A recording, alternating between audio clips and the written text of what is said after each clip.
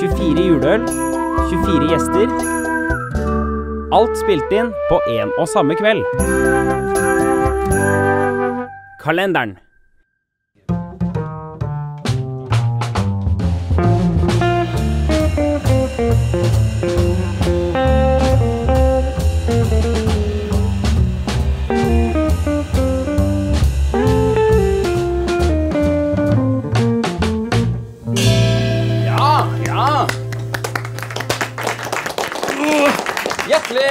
Velkommen til showet mitt. Det er på en måte et talkshow, bare at vi også drikker masse øl. Så det blir spennende å se hvordan det går til slutt. Eh, Lars. Og apropos Lars, så er jo du, du er første gjest, Lars. Jeg er første gjest, ja. Ja. Eh, Jeg skulle ikke være første gjest. Nei, det skulle jo egentlig være Stian Blipp. Ja, Men så skulle han føde. Ja, det var viktigere. Ja, det var viktigere. Jeg skulle egentlig være med på kalenderen med the legendary Martin Markey. Men så skjedde dette her. Beste luken noensinne. Kos dere. God jul. Da er det på tide å ta seg en, eh, en øl. Ja. Fordi vi har jo ikke noe tid å miste. Se her, da. Ja, da, ja. Se her, da. Oi, jøss. Se her, da. Ja, nå ser jeg masse tall. Ja, så Vi kan ikke sitte på Laura Bowery. Nei. Åpne opp luka og få deg powdow.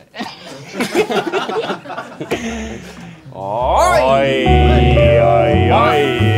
Ringenes juleøl. Ringenes juleøl. Ringenes juleøl. jule- Ringenes juleøl.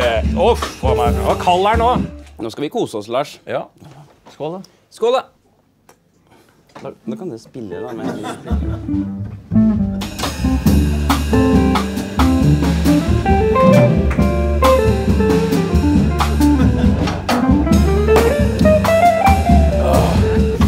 Den var mørk. Og det er som å jogge.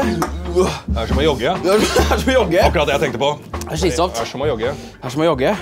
Det er liksom Åh, Du tror, du tror det er øl, vet du, og så er det litt tykkere. Satan. Noe mer noe Ja, det er jo Det er jo ille. Ja. Lars Berrum, Ja. hvordan går det? Nei, det går så det griner, altså. Ja. Du skal også ha en ganske sånn stor rolle i eh, det opplegget her. da. ja. Eh, For de av dere som ikke vet det, hvor er kameraene? Eh, Så er Lars Berrum Norges beste karakterskuespiller. ja. Så jeg kommer til å avslutte etter planen. da, Vi får se. Nå er jeg jo plutselig gjest, så dette her går jo ikke sin gang. Nei. Men så skal jeg avslutte hver episode med en ny julekarakter. Det blir spennende å se. Ja. Vi gleder oss til det. det og inn og ut hver, her hver gang. Sant? Ja, inn og ut her hver. Skal jeg ta en liten julelåt, eller? Nei, vi må videre. Ja. Vi, Lars, så, vi, skal, eh, vi skal kikke på et uh, lite um, innslag, da, for det er jo også innslag Er det det, type- Ja, det er, det er så mye greier. Åh, det er så mye greier hele tida. Ja, bare tung, den Men vi skal se på et innslag, og dette her er vel uh, på en måte marerittet, tror jeg har kalt denne, dette innslaget her. Oi.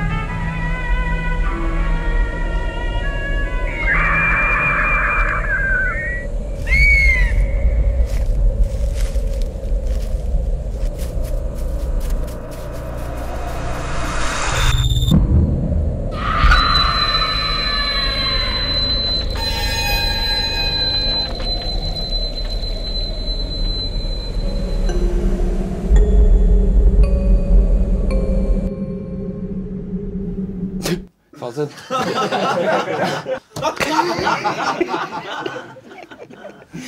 Vi har også en egen sånn segment som heter eh, Pakkekalenderen. Oi. Og de ligger der. Ja. De er fra mamma. kalender. Da tar jeg den her. Ja, bare ta den der, da. Ja. Åpne. Ja, Ja. spennende. Oi! Gave i gave. Den er ikke dum. Hva er det oppi der, da? Oi! Kalotto!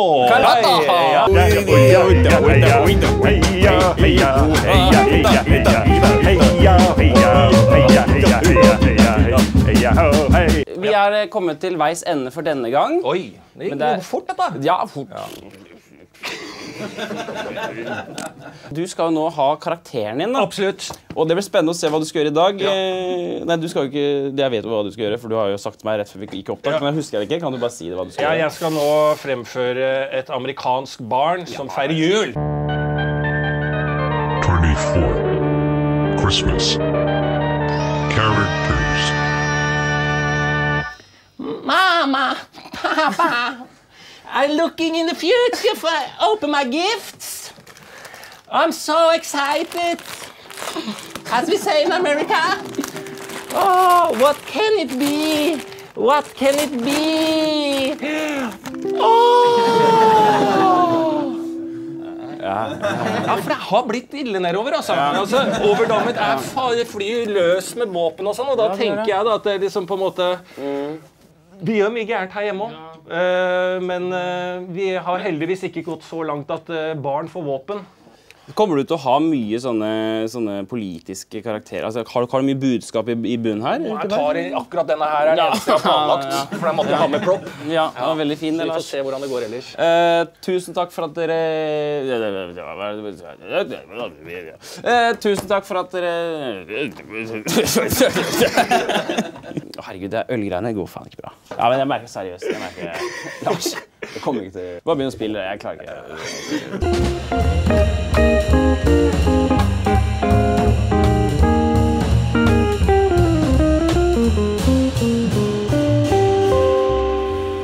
Ja! Ja! Eh, statusoppdatering? Det går bra. Dagens gjest, eh, ta godt imot Fingeren.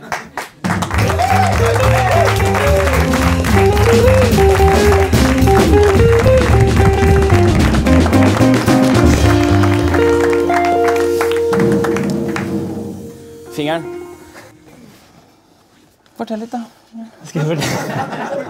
Thomas Fingeren Gullestad. Hiphopens Bjarne Brøndbo. Skuespillerens Kim Kolstad. Hjertelig velkommen skal du være. Du tjente 6,5 millioner kroner i fjor. Kan du fortelle litt om hva du har brukt pengene på? De står et eller annet sted. Jeg har ikke fått de. På et bord, liksom? Fysisk? eller Ja, de står på et bord. Hva syns du om stolen?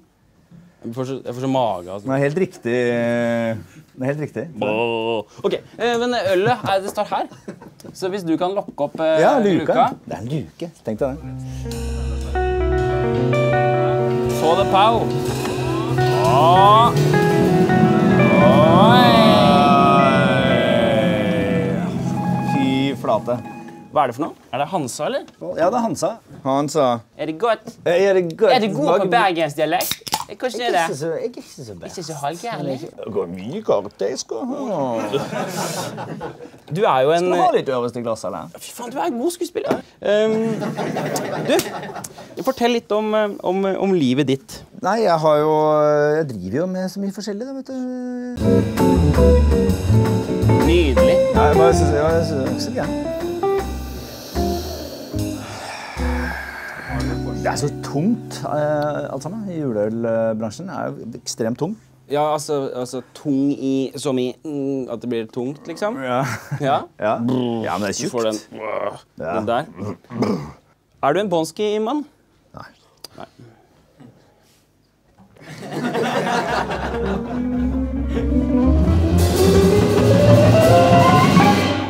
Er du en båndskemann? Jeg har mer igjen. Fingeren. Ja. Kan jeg, kan jeg kalle deg Thomas? ja, du kan kalle meg Thomas. Det går fint. Har du andre kallenavn? Uh, nei, det er liksom alt som er, Alt som er gøy? ligner litt på fingeren. Ja, Findus. Findus, for eksempel. Findus. Men det var lenge siden den samtalen her ble kjedelig. Eh, skulle vi tatt oss og sett på en, en, et innslag?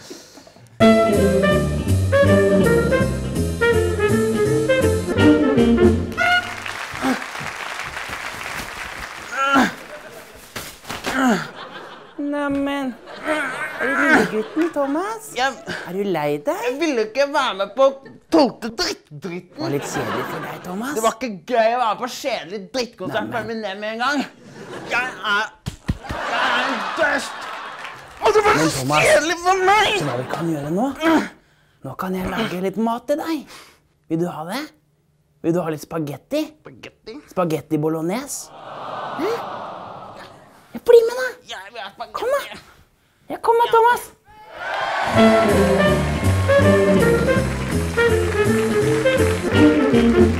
Det er sånn at uh, vi har pakkekalender.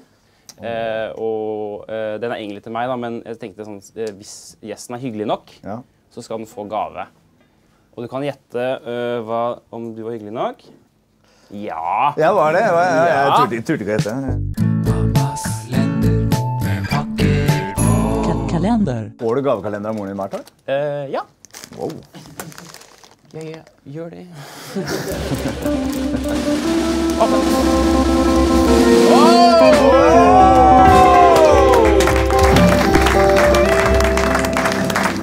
Fantastisk.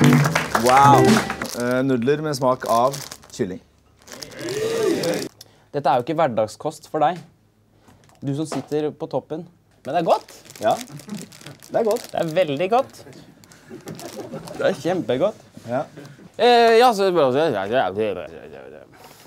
Faen, nå må du skjerpe deg, Martin.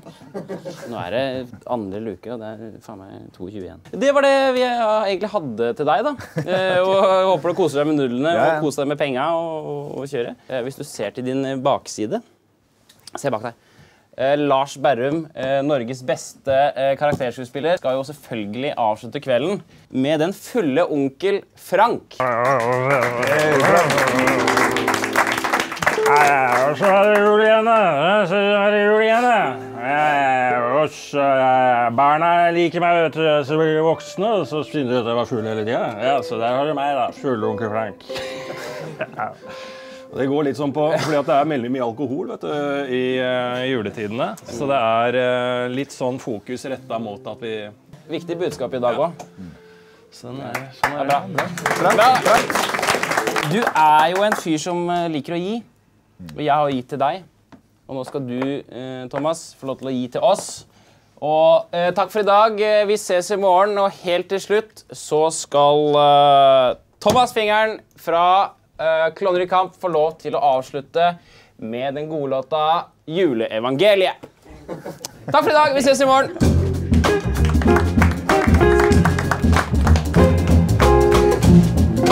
Kom igjen. Det skjedde i de dager at det gikk ut en befaling til Keiser en Augustus. harding hatt. Hadde kustet, så plutselig fant han ut at hele verden skulle skrives i manntall. Grabar og Grandis svarer som vanlig. Det er for blakk til å handle. Har ikke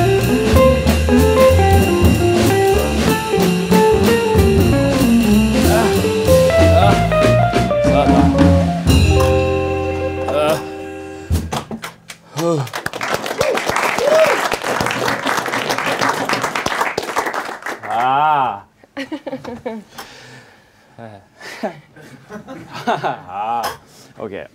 Hei og velkommen til eh, Kalendershowet eh, sammen med meg, eh, Martin Marki og sånne ting. Dagens gjest det er eh, Kristin Diesodin. Ja.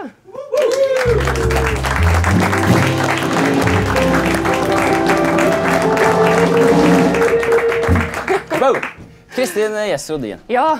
Du er skuespiller Ja. og glad som ei lerke. Ja. Jeg er veldig skripta akkurat den. Er det derfor du heter Kristin Yes-Rodin? Ja, det Applaus! Nå ble jeg satt ut. Det er tull at jeg har sånne lapper, vet du, for det står ingenting. Det er bare står sånn Det Hva er det blikket? Nei, ingenting. Nei. Jeg bare har et rart fjes. Vi må få inn uh, ingen, En ny gjest.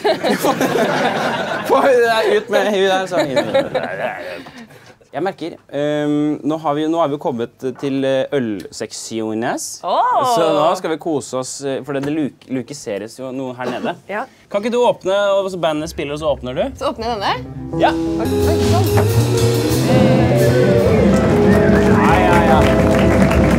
Ja.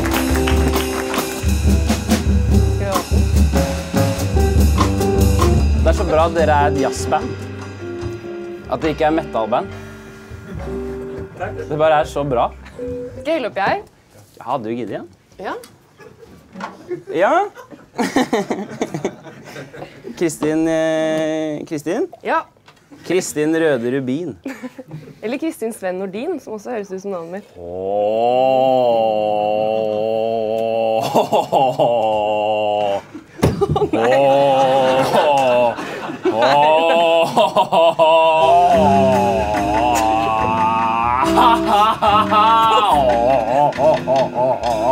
Den var god! Den var god. Um. Sorry. Unnskyld. Jeg mista det litt ennå. Begynte å grine. Ja, jeg lo så mye at jeg gråt. Apropos gråt. Jeg og Kristin vi er jo både begge skuespillere og artister, kunstnere på hver vår arena. Og i dag så skal vi spille Hvem kan gråte på kommando? Er du klar? Ja, ja, ja. ja. Klar, ferdig, gå. Ferdig gå.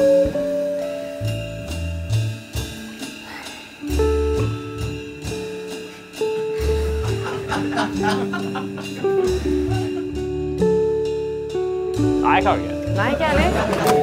Jeg klarer det ikke.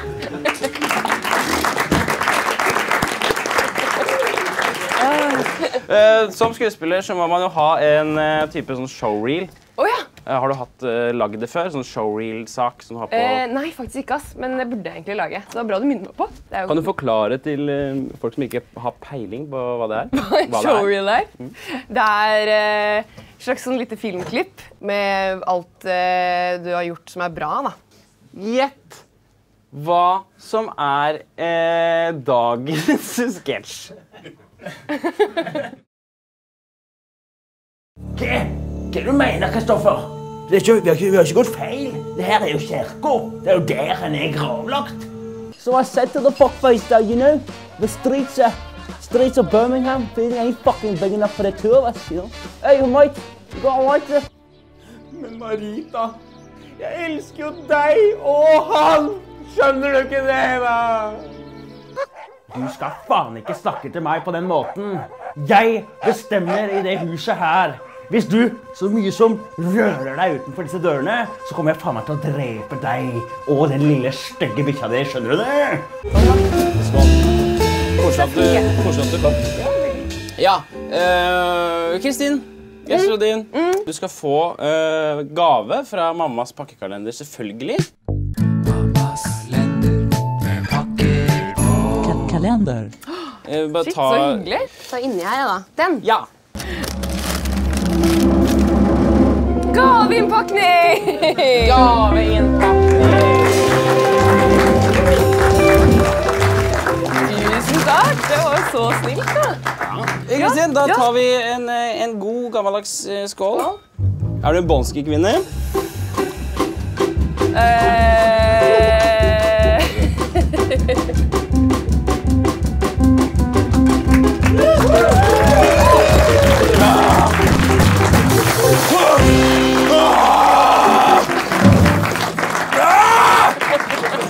Satan! Å, herregud, nå vet du, Når jeg gjør det, så bare 10 eh, 1000 hjerneceller. Så da tar det litt tid å komme inn igjen i hva er det vi holder på med her nå. ja. Veldig hyggelig å ha deg på besøk. Du, så hyggelig å få være her. Eh, Vi skal selvfølgelig ha på Norges beste karakterskuespiller. Ja. Og det er jo selvfølgelig Ikke meg? Eller er det meg? Nei, det er ikke meg. ikke deg. Nazisten som finner i juleroen. Ja, ja, ja, ja, ja, ja, ja, ja. Fy faen, hater alt som er uh, annerledes. Uh, elsker hvit. Å, så julete det var her, ja. Det her var det koselig. Dette var fint. Dette er bare karakterer jeg speiler for å si at det er noe magisk med juleroen. Må du ha et poeng hver gang? Kan det ikke Jeg bare helst skulle vært innbakt i karakteren, men jeg liker å stoppe opp og så fortelle det. Det blir 10 sekunder med show, og så blir det 40 sekunder med liksom forklare hva Ja, Har du prøvd å lage karakter sjøl? Dette vet du alt om. Men uh, det, er, eh, liksom, det er et helvete å få inn. Men bra, Lars. Vi, vi, absolutt bra. Det var det, det var det vi rakk for uh, i dag.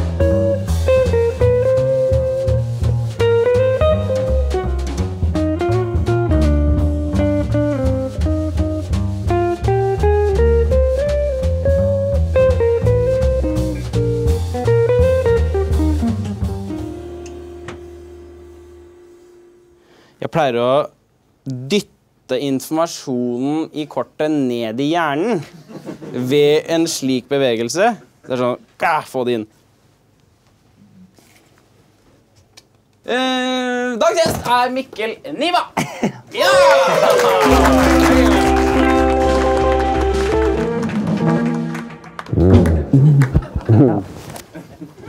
Tusen takk for at du kom. Hvordan går det? Kjempebra. Ja, bra. Jeg har, eh, jeg har i anledning jul tatt på meg den varme genseren min, for det er- begynner å bli kaldt ute. Ja. Ti minus. Ti kalde. Ti kalde. Er det ikke det? Det er jo ti kalde. Ja. Eh, Det syns jeg er kaldt, men eh, det er ikke kaldere enn det er ikke kaldere enn 20. Så sånn sett så går det greit. Det er helt riktig, Mikkel Niva. Ja. 10 minus er ikke kaldere enn 20. Eh, eh, Mikkel, du er jo en, eh, en kjent improvisatør. Og jeg tenkte at siden du er det, så tenkte jeg vi skulle bare improvisere alt sammen. Okay. Så vi bare kaster kortet og Oi. improviserer. Så kan vi få en dialekt? Sunnmøring. Sunnmøring. Sunnmøre. Sunnmøring. Jeg skulle ha kalt ut det. Men, har du Nei, faen, nå ble det. Hvordan er ledet eh, TV-programmet? Dag nummer fire av 24. Det funker ikke helt, det der improvisasjongreiene her, føler jeg. Skal vi se, her står det uh, For... Hvem er Mikkel? Hvem er jeg? Okay. Ikke se på korta. Mikkel Niva, tusen takk for at du kom, og, og spennende å følge med på utviklingen i livet ditt. Vi må smake på luka. Kan du åpne luken? Dagens eh, leskerende er jo en Dals julebrygg. Deilig. Hva er forholdet ditt til Dals julebrygg? Eh, jeg får sånn samfunnet-følelse av det. Trondheim, samfunnet Trondheim-følelse av det. Ja. Veldig sånn studentøl. Drekka på. veldig sånn, Ja. Dette tror jeg skal drikkes fort. Jeg, tror, jeg, tror det er en lett jeg håper og tror det er en lettdrikkelig juleøl. Det skal drikkes fort. Jeg gjetter på det. Det er jo noe chuggekonkurranse, er det ikke det? Jeg vet ikke. Ja.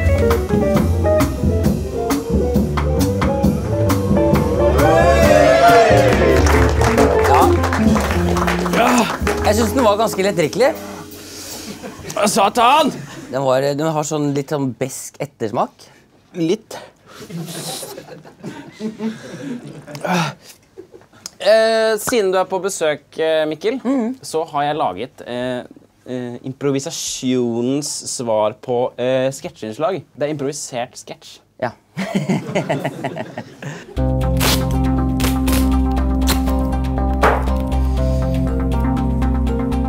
Et stykke teip kan redde liv. Her som alltid så snakkes det om eh, materielle ting på et litt mer komfortabelt plan enn eh, det store. Til nye seere, sånn fungerer det her hos Rolf. Vi tar av teipen og ser Se her, ja. Her har det blitt mye forskjell. Og sånn fungerer det med teip. Sånn fungerer det her hos Rolf. Kan vi si det? Sånn fungerer det her hos Rolf. Sånn fungerer det her hos Rolf. Fungerer det fungerer hos Rolf. Sånn Jeg kan akseptere, jeg er gammel mann. Du, hvis du skulle få lov til å smake på en juleøl og kose deg med en pakke Ja. Ok, da ble det denne her. Perfekt. Den står det nummer åtte på. Det går bra. Bra. Det går fint. Bare kjør. Hva er det inni her, da? Oi! Oi!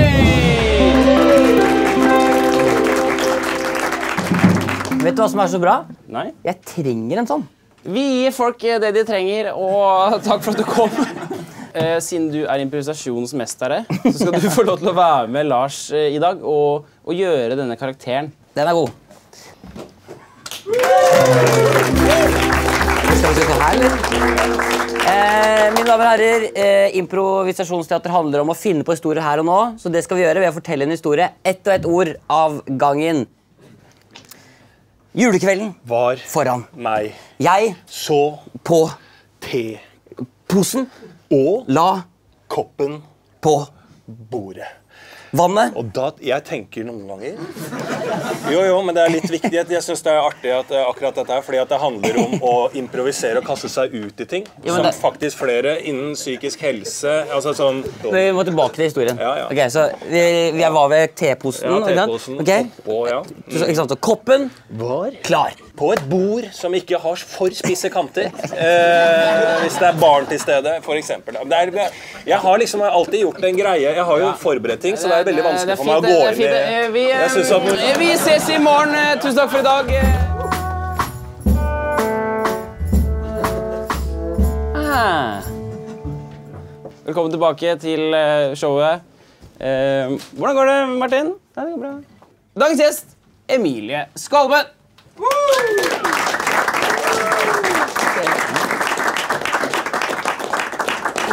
Ja.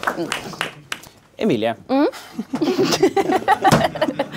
Det er mitt navn. du er, du er kjent for å være veldig grov i kjeften. Du kjører på Ja, ja. med drittpreik ja, ja. fra ende til annen. Så derfor skal vi spille Hvem er grovest i kjeften av Skolmen og Marki. Mm. Ja, hvem er grovest i kjeften? Jeg kan begynne. ja. Horefitteslugga. Jeg skulle si fitte, igjen, nå, men da, blir, da må jeg ta over Ja, du kan kombinere fitte, det. fitte, slus... Slur, Fitte, sluse, sluse? Ja. Rasshøltaper. Eh, Fanrass-tusse i rassen til en rastafar med rass. Rastafar med rass. dum. Ja, da var vi ferdig med å spille Hvem er styggest i kjeften? La oss sjekke hva som lukiserer seg inni i luken. Ja.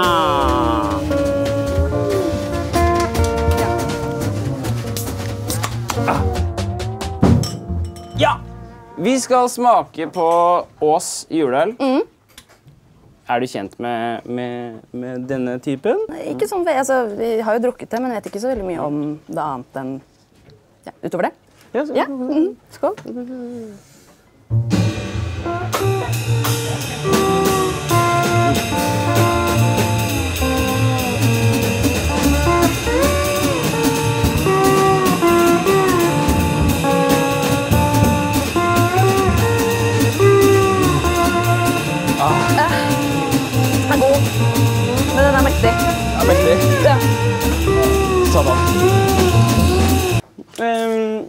Som eh, skådis og som eh, med god Du er så flink med stemmen.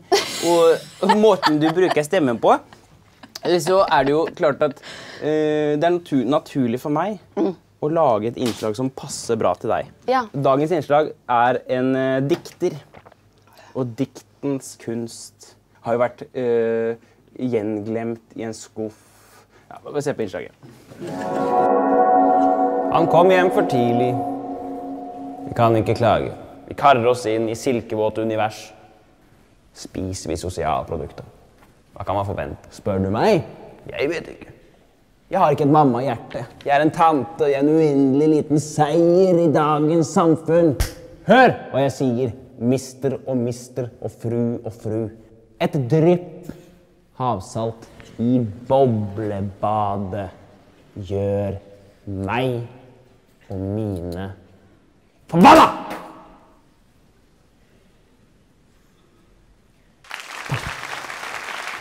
Eh, Emilie, vær så god. Til meg? God jul. Neimen! Ikke bare ett, men to juletre.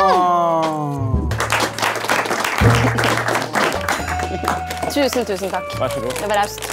Eh, Det siste som gjenstår, det er å få et eh, innslag fra Norges beste karakterskuespiller her. Og det er jo Lars Berrum. Ja, selvfølgelig. Han kommer inn hver eneste kveld og lager et show, og vi koser oss med det. Gutten som fortsatt tror på nissen. Nei, det er ikke det, altså. Det fins ikke. Hva er det så mye med alle gavene, da? Jeg har jo ikke noen familie. Jeg bor på gata. Nei, han fins ikke. Men det er, ja, for det er litt sånn her jeg prøver å si at uh, det er folk på gata der ute også, som uh, Ja. Da Eh, Det var det vi rakk for uh, i dag. Vi ses i morgen. Jo, Takk jeg for i dag. litt- her la deg faktisk litt inn i karakteren. For der lå den litt sånn Det er lov å gi til Jeg liker Oslo, og ikke bare tenke mer, mer, mer. Ja. Ja, Du bare trekker det ned så jævlig på slutten. ja men Ja, det skal jeg ta til etterretning, som det heter. Takk for i dag. Vi ses i morgen. You better watch out, you better not hide, you better not tell, I'm telling you why. Santa Claus is coming tonight.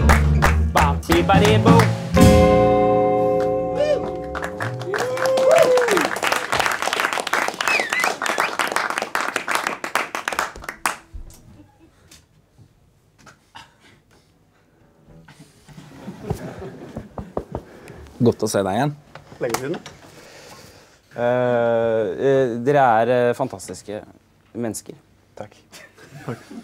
Jeg elsker uh, det dere lager. Det setter jeg altså så pris på. Uh, hit for hit, tidenes show. Spørsmålstegn. Nei. Spør du oss? Hvordan syns hvordan du selv det bare, gikk? bare si det. Takk. Tidenes show. Ja, Server den videre til oss? Jo, det var jo Ja, det, ja. det, jo. Det står her sånn intro. Skryt av gjester. Jeg liker det dere gjør. Vi skal smake på en eh, pils. Eh, Fridtjof, kan du åpne luken? Åh! Hva er det? Hva er det? Hansa. Hansa. Julebrygg. Miles Davis der altså.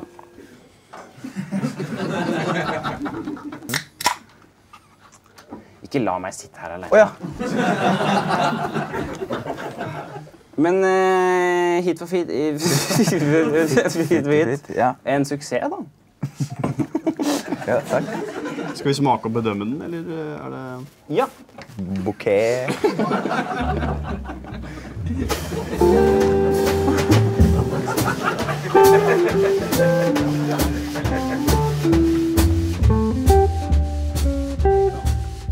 Eh, vi koser oss eh, her. Eh, guttene Ja. Det er noe Jeg syns vanligvis ikke juleøl er så veldig godt, ja. men eh, den her var ikke så dum. Veldig mørk. Den, var- den var ikke så vond. Nei. Nei. Heller ikke så god. Nei. Jeg har egentlig planlagt terningkast og sånn. Men jeg har glemt den. Fuck det. Men eh, eh, ja, hva syns vi? eh, er noe hint av jul her. Men hvordan er den å styrte, da, Martin? Nei, selv. eh, dere lager jo eh, musikalske innslag i disse programmene deres. Så jeg har laget et innslag til dere hvor jeg prøver meg som en hit for hit. Eh, som en hit for hit eh, som Karakter? et karakter, ja. Ja. Ok. Takk skal du ha. Skjønte hvor du vil. Bare si ifra. Lille tacogutt. Vil du spise fajita? Tex-Mex taxi. Tex-Mex taxi. Quesadilla, har nu lyst på litt? Guacamole. Jeg liker ikke meksikansk mat. Jeg liker kun det norske kjøkken. Jeg liker ikke Hæ? Kan vi ikke ha med den?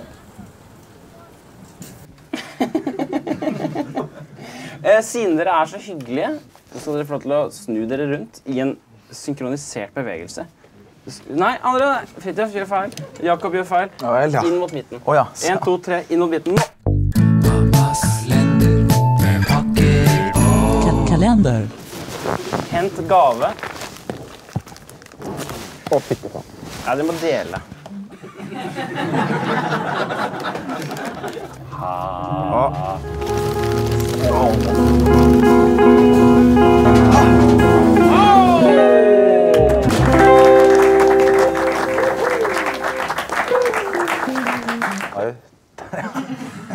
Jeg visste den kom til å komme til. Å, fidda. Kjør da L i kalenderen. Hvordan smaker, hvordan smaker den? Den er lett, ja. Her lager vi underholdningsprogram for deg og din familie. tusen takk for at eh, dere kom, guttene. Eh, Lars Berrum skal som alltid avslutte programmet. Og i dag, eh, Lars, jeg bare tenkte en ting. Sånn, Det er fint hvis du er litt sånn mindre, mindre prat om hvorfor du har valgt å gjøre innslaget, og mer innslag. Ja. Så hvis vi kan bare Ja, da tenker jeg at det er på tide med et ordspill. Et ordspill. Ja, eh, Vi kan ta eh, et Jehovas vitneordspill sett, satt i en avhørssetting. Så når jeg kommer inn da, Fritjof, så sier du bare 'Lars, jeg veit du så det'. Ikke sant? Ok. Ja. Berrum, eh, Norges mest kreative personlighet, skal nå ha Jehovas vitneordspill satt i intervjusetting. Avhørssetting. Lars, jeg vet du så det. Jihu! Hva? Hysj! Jeg er ikke noe vitne.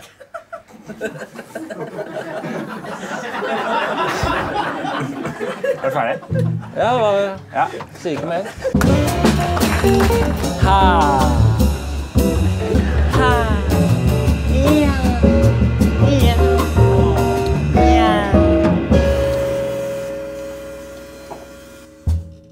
Bartens konge, ironiens høyborg, Torshovs Casanova. Har du mer? Og med flere uh, ting som beskriver meg. Uh, tvers gjennom ålreit fyr. Ja, Du er fra Oslo, er du ikke? Er du veldig Oslo-gutt? Det spørs hva du legger i det. Uh, At du elsker Oslo ved din uh, hånd? Eller? ja, Med min hånd så elsker jeg Oslo. Det er helt riktig. Topp tre hvorfor du er god, hvorfor du er en god kompis. Ja. Jeg er verdens snilleste gutt. Nummer to, jeg kan alltid få deg til å trekke litt på smilebåndet. Kom igjen. Ok. Eh, bare si, si en dialekt. Trønder. Og en, et lynne. Sliten? jeg, jeg, er så sliten her oppe i Trøndelag. Jeg er sliten her i Trøndelag. Hvorfor det? Jeg har levd et hardt, utsvevende liv her oppe i Trøndelag, der jeg er fra. Jeg er fra Trøndelag. Jeg har lyst til å drikke mer øl. Ja. Det, jeg åpner der. Ja. App, app, app. Oi, oi, oi. Juleøldrikking. Er du en juleøldrikker? Nei, jeg er ikke noe glad i det. Det. Lat som om du er glad i Ja, jeg elsker julen. passer så bra med konseptet. Er du en Bonski-person?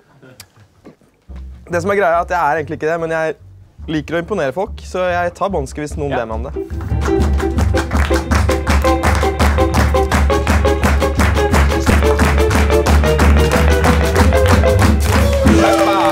Fantastisk.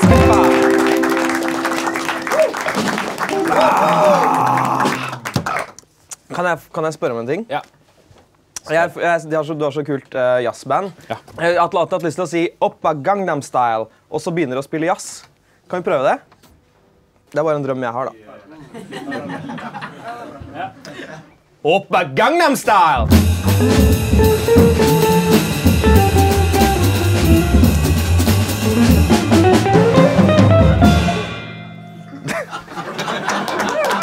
Det var klappet sånn som jeg trodde det skulle være. Det bra. Eh, Hasse, Ja? jeg har lyst til på en måte å spørre deg, hvordan kan vi bli bestevenner? Oi. Altså, det er jo én person Det er jo egentlig bare én person i verden som er din bestevenn, og det skal mye til å ta den tronen. Det kiler. Å, jeg heter Isak, og det her er Abraham. Beste-bestevennen min. Ikke sant, Abraham? Ja. Hva har du lyst til å gjøre når vi kommer hjem? Spise godteri? Eh, ja! Det beste Abraham vet, det er å kose seg. Hva er det? Helvete, gi faen da. Slapp av.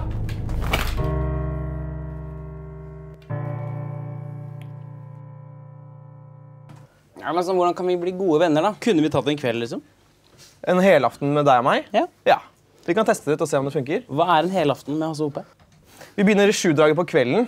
Ja. Og med noen rolige four-drinks hjemme hos meg. Og så kanskje vi preiker litt piss. Eh, litt sånn, hva faen eh, Du, den greia som skjedde med deg for tre år siden, gikk, var det, hvordan var det egentlig for deg Og så, sorry. Eh, og så blir det dypere og dypere, og så etter hvert så begynner vi å føle kanskje et bånd hvis vi liker hverandre. For å starte vennskapet vi på en måte skal ha nå videre, så vil jeg eh, gi deg en gave. Ok. Eh, pakkekalender. Ah, no fucking way! No fucking way! Det er jo da en eh, showergel. No fucking way. Vær så god.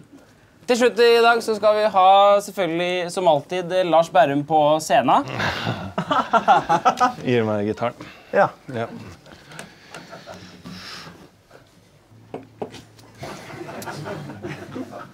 Spennende. Glade jul, uheldige jul. Engler daler ikke ned i skjul. For dagens unge engler er bare keen på å se seg selv på mobiltelefonen og chatte med andre og oppnå strikes og drikke kaffe latte. Og da begynner jeg å lure på at vi må gå inn litt til dagens unge og snakke med dem, se dem i trynet og si Skal vi være ute og leke få et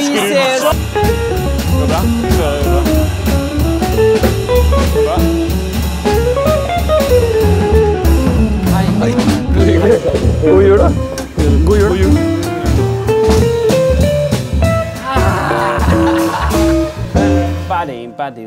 Fin låt. Bra jobba, gutter! Eh, jeg er eh, på eh, luke nummer åtte. Jeg fikk beskjed av regissøren om å si hvordan det går. Derfor gjør jeg det nå på denne måten. Christian Mikkelsen. Hei. Hei, Kristian. Halla. Halla. God jul igjen. God jul igjen, ja. Jeg syns du er så utrolig koselig nå.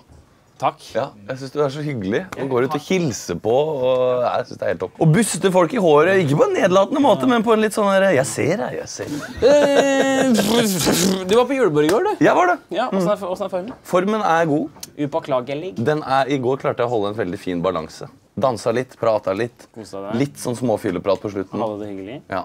Mm, kjempehyggelig. Eh, Mikkelsen. Mikkelsen. Ja. Eh, du er veldig gammel. Ja. Du er kjempegammal. Hvor, hvor gammel er du? 27 er jeg. Er du 27? Jeg er 27. Blir 28 om fem dager hvis vi opprettholder illusjonen at det er 8. desember i dag. Men jeg er også 27. Ja,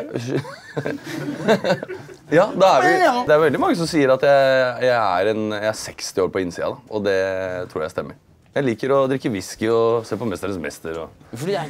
slapp. Eh, har du en vits, eller? Bare lager? Nei, jeg har ikke det. Har du en vits til meg? Nei. Nei. Jeg har ikke det. Jeg har skrevet Christian har sikkert en vits.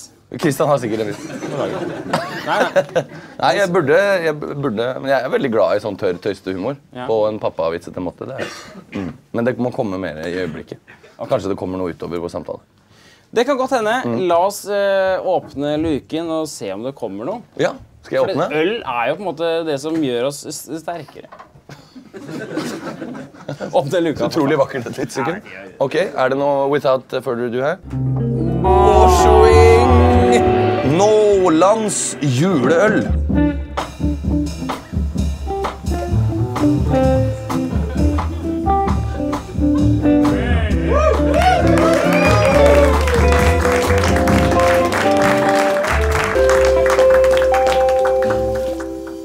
Skikkelig middels. Gratis øl er gratis øl, er ikke det? Wow! Åh, scheisse! Jeg digger at det er litt godt, ass. Jeg syns det er helt fantastisk. Jeg, jeg syns det er helt nydelig. Livet mitt er en parodi på meg sjøl. Velkommen tilbake fra reklame. Vi skal se på et innslag. Eh, og det er et innslag som, eh, som retter seg veldig mot på en måte gjenkjennelseshumor. Eh, Ja.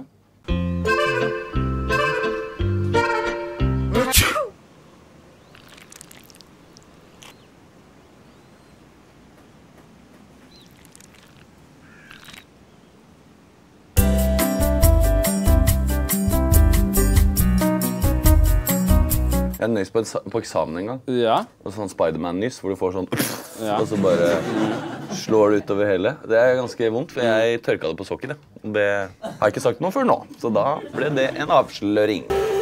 Christian Mikkelsen, siden du er så hyggelig gjest, skal du få pakken. Takk. Er du klar til at den faller ned, faller ned i din hånd? Ja. Kjør!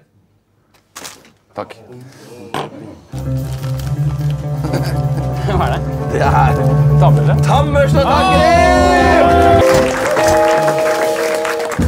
Tannbørste og tannkrem er nyttig hvis man skal pusse tennene. Ja.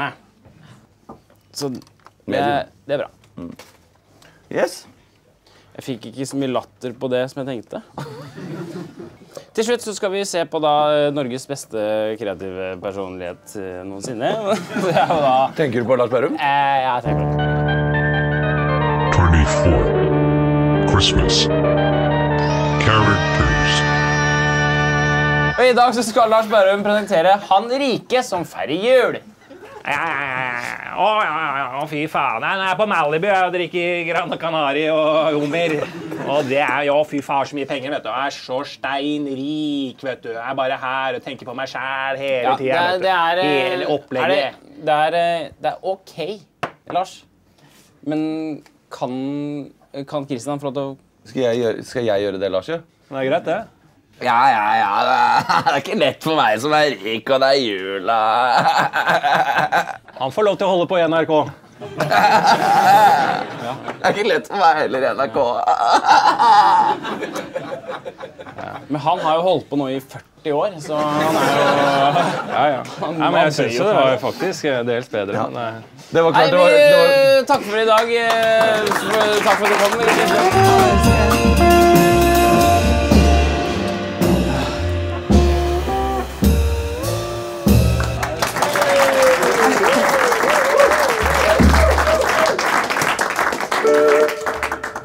Fanny Våger.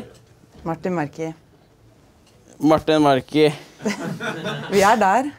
Ja, vi er nesten der. er Ja? Jeg skal ha en statusoppdatering. Regissøren mener jeg må si noe om hvordan formen er. Jeg skal gjøre det nå. Den er fin. Dagens gjest er Fanny Våger.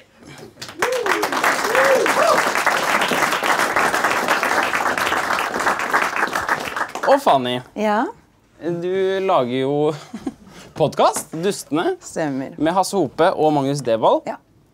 Jeg har vært gjest. Har du det? Ja, jeg har det.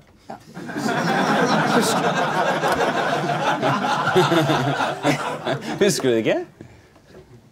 Nei. Faktisk ikke. Det er grusomt. Du, får komme, du må komme igjen. Du må komme igjen. Vi har Ja, det blir gøy. Jeg gleder meg til det. Ja. Ribbe eller pinnekjøtt? Hva, hvor er vi? Hvor skal vi? Hva er det du Hva koser du deg med? Vi I min familie spiser vi ribbe. Ja. Men jeg er ikke så veldig glad i kjøtt, så det blir poteter med saus. Så jula er ikke en sånn mattid for meg, egentlig. Hvem drepte Marie, Per og Anne Orderud? Jeg tror det var Kristin og Per som skjøt. Hvem tror du? Eh, jeg tror det var uh, Teresa Hallback. Spennende teori. Den har de ikke vært innpå ennå. Ja, jeg tror det. Jeg tror, jeg tror Brendan Dassey hadde muligheten til å skaffe seg eh, tilgang på kårboligen der. Vi går over til dagens øl.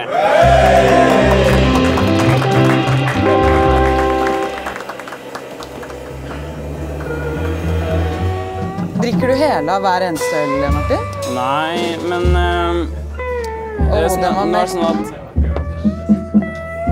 Nei. Mm. Nydelig smak. Uh, deilig aroma. En ting jeg har tenkt på, Juleøl er jo veldig mye. Ja. Det er jo nesten som en matrett. Ja, for det er det. Begynner du å bli ordentlig mett i magen? Ja, jeg gjør det. Mm. Jeg merker det setter seg sånn under uh, solaris plexus. Fanny, Ja. jeg eh, har eh, forberedt et innslag til deg eh, som handler om en kriminell person og en person som er politi. Det kommer til å komme her nå. Michaelsen, kan du fortelle meg hva var det som skjedde nå i forrige fredag? Nei, jeg har bare vært og testa mopeden min, jeg også. Ja. Da var det til at jeg eh. Ja, jeg eh, voldtok da søstera mi. Jeg har lyst til å lage en sånn her type sketsj. Aldri vært det jeg har lyst til å holde på med. Søkte jo Teaterhøgskolen. Kom ikke inn. Jeg er fra Kongsberg i Buskerud. Gikk på Kongsgårdsmoen eh, barneskole. Eh, senere Skrim ungdomsskole. Så begynte jeg på KBS, Maurus Hansen-avdelinga. Der tok jeg allmennpraksis. Så flytta jeg til byen, til Oslo, for å søke lykken.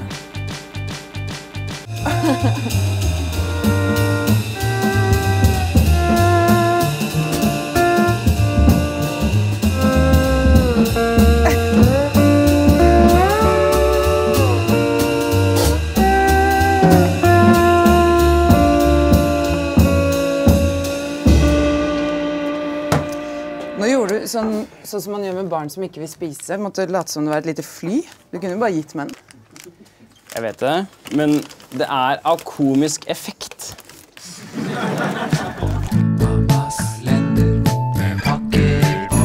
Kalender. Hjerteballonger. Hjerteballonger. Tusen hjertelig takk. Hvilken anledning skal du bruke det i? Den blir vel fort å spare til valentines, da. Men det blir lenge til. Ja, men de holder seg godt. 14. februar? Du spør som om du ikke vet, men jeg mistenker at du vet at det er da. På scenen, eh, som alltid, skal vi ha eh, Lars Berrum. Er du klar, Lars? Ja. Han som glemte julaften.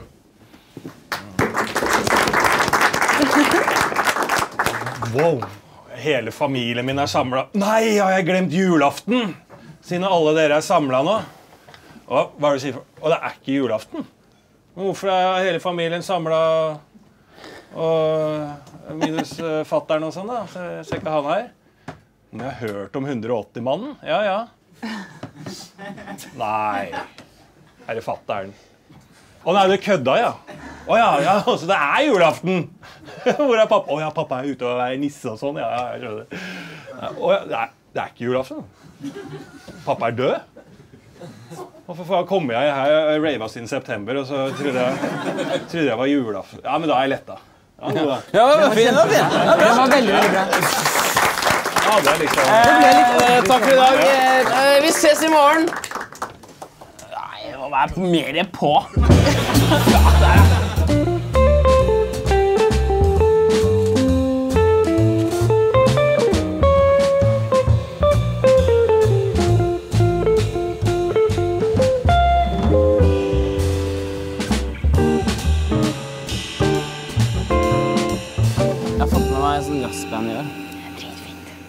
Det er bra det ikke er metal-band. Ja, hadde ikke funket, det.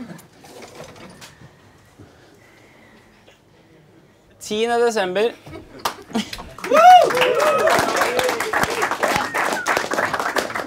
Det har vært en fantastisk uh, opplevelse å være en del av uh, dette opplegget her. Som, som jeg har gjort. Dagens gjest er Ulrikke Falk.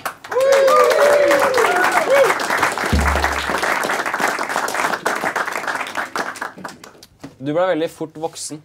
Du ble en hit. Hva føler du at du har mista av barndommen din? Ingenting. Jeg f- føler at jeg fikk tid til å være barn. Eh, begynte å spille i Skam da jeg var 18, så jeg hadde vel Det myndig alder. Jeg begynner å bli full, jeg, Ulrikke.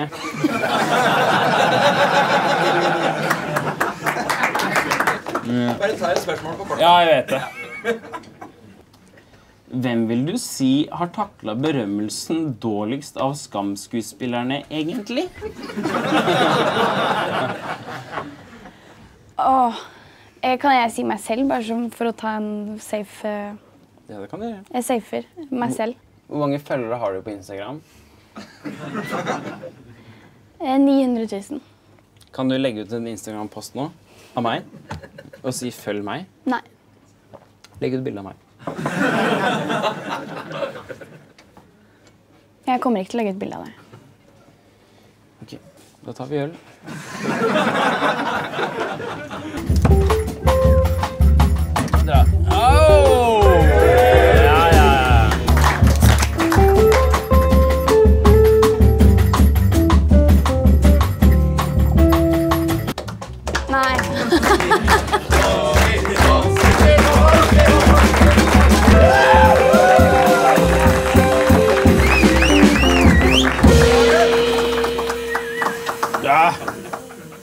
Dere gjør en fantastisk jobb, gutter. Med det dere driver med. Ja. Ulrikke, Ja, er du glad i sengen? jeg er veldig glad i sengen, ja. Ja. Jeg har lagd et innslag på sengen. Hei, og velkommen til programmet Sengekos. Det skal i dag handle om eh, puten. Mm. Deilig. Mm. Puten er jo en hvilestasjon for eh, hodet. Inni her så er det mange, mange, mange, mange, mange forskjellige fjær. Og hvis du klarer å riste de Hvis du klarer å riste de til en ball, slik at det blir likt som partiet som ligger mellom hode og kropp, altså en bøy, så er det veldig deilig å legge hodet inntil og slappe av. Vi ses neste uke. Da skal det handle om tottelittene. Så godt. Ulrikke Falk. Det har vært så spennende å ha deg på besøk. Uh, ja. Det var veldig fint å være her også. Hva skal du gi til Henrik til jul? Uh, det vet jeg ikke enda, faktisk. Jeg har ikke funnet ut av det. Superundertøy? Ja.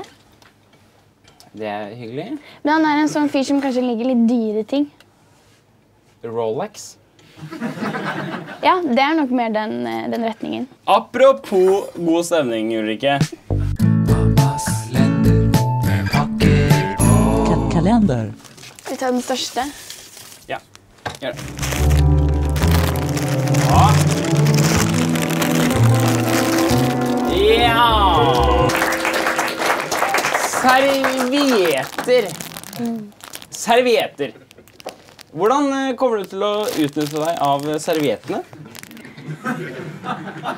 Når jeg skal bruke serviettene. Mest sannsynlig når jeg søler, da. Det er digg å ha servietter når du søler. Mm. Takk. Fantastisk eh, hyggelig. Lars Berrum.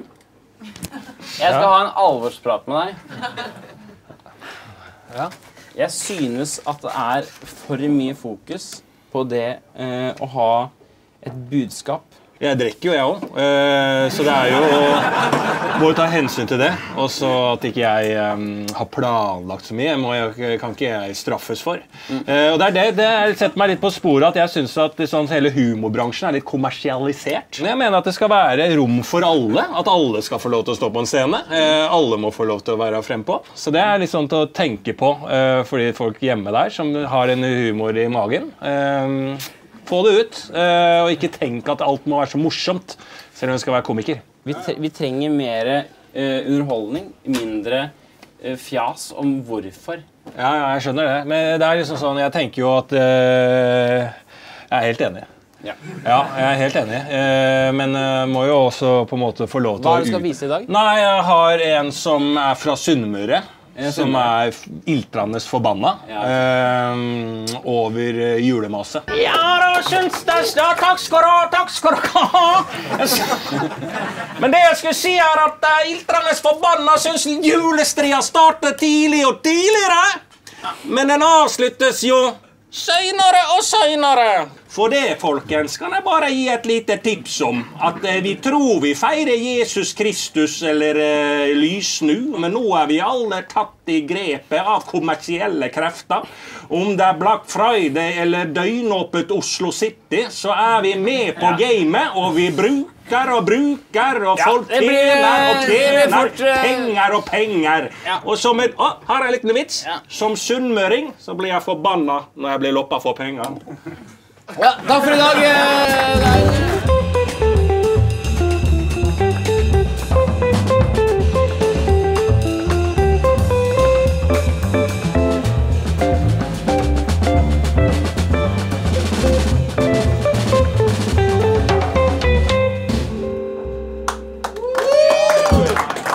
eh, hjertelig velkommen til eh, uh, adventskalendershowet mitt. Eh, dette er et show hvor jeg drikker 24 pils i løpet av én og samme kveld. Og gjort det samme i uh, syv år nå. Og det her er en av de beste årene. Man merker jo det, at dette er en av de beste årene. Man gjør jo det.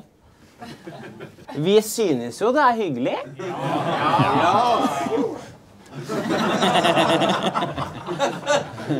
Statusoppdatering. Én. Det går bra. Nummer to. Synd det ikke er halvveis allerede.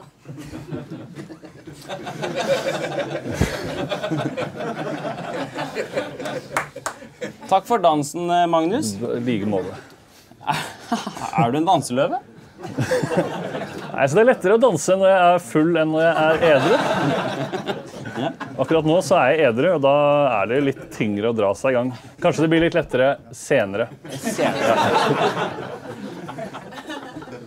Du har vært med i en julekalender sjøl, har du ikke det? Jo, det har seg sånn at Det er jeg og Ylvis-brødrene og Kalle og han eh, kokken fra Firestjerners middag. Ja. Vi skal smake på juleøl. Ja. 24 typer juleøl. Men tvisten er da vi skal gjøre alt på én dag. Wow! Mm. Så eh, ja. Helt utrolig. eh, Helt utrolig kreativt. Eh, Magnus Devold. På din reise ut i det norske langstrakte, møter du noen interessante mennesker? ja. ja, man gjør jo det. Og det veldig, man merker det er veldig forskjell på folk etter hvor man er.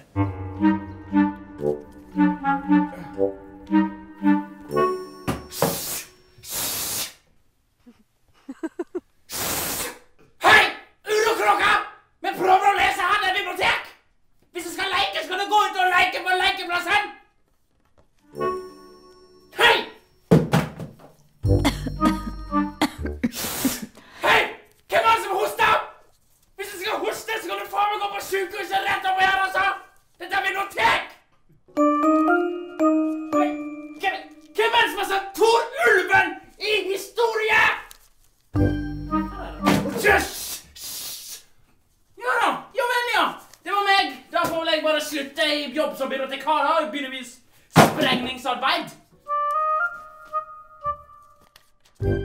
Vi skal smake på øl. Ja.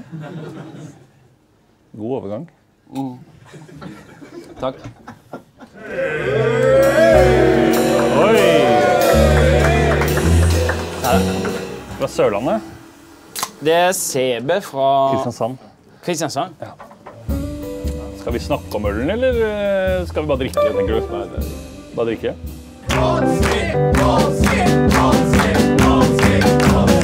Har du lyst til å bare ta over litt her nå? Ja. Hvor skal du? Nei, jeg skal bare sitte her. Ja, Det er ikke den første øljulekalenderen jeg er med på, så det burde gå fint. Da tar jeg bare manuset her, ja. Hei, og velkommen til fortsettelsen av denne episoden av eh, Kalenderen her på Humor Nye. Nå har jeg besøk av Martin Marki. Ja, hyggelig å være her. Kjent fra Kalenderen på Humor Nye, blant annet. Det er hyggelig å ha deg på besøk. takk. Eh,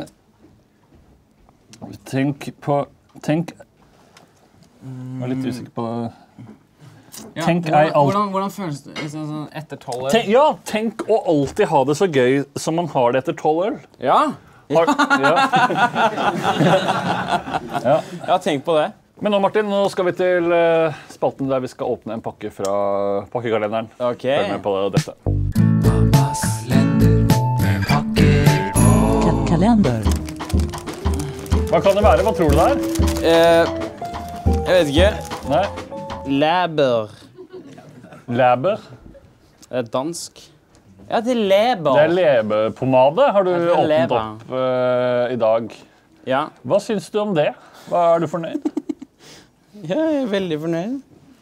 Jeg, jeg har lyst til å gi eh, ølen en karakter. Ja. Uh, og den, Den- får en karakter nummer fem.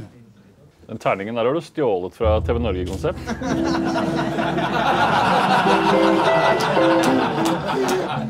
Jeg, Takk eh, skal du ha, Jo, Martin. Veldig hyggelig at du kunne komme. Vi eh, skal eh, runde av her fra Njø scene. Vi ses i morgen. Da er det nye gjester og nye overraskelser som venter.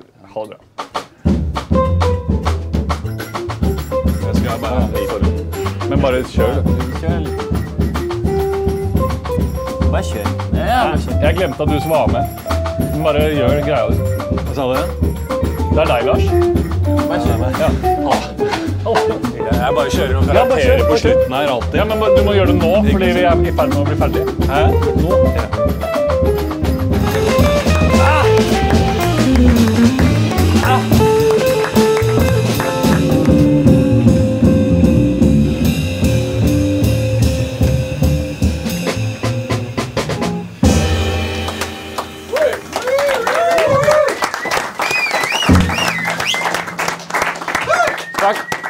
Takk skal dere ha, folkens. Erlend Mørk Hei, Martin. er dagens gjest.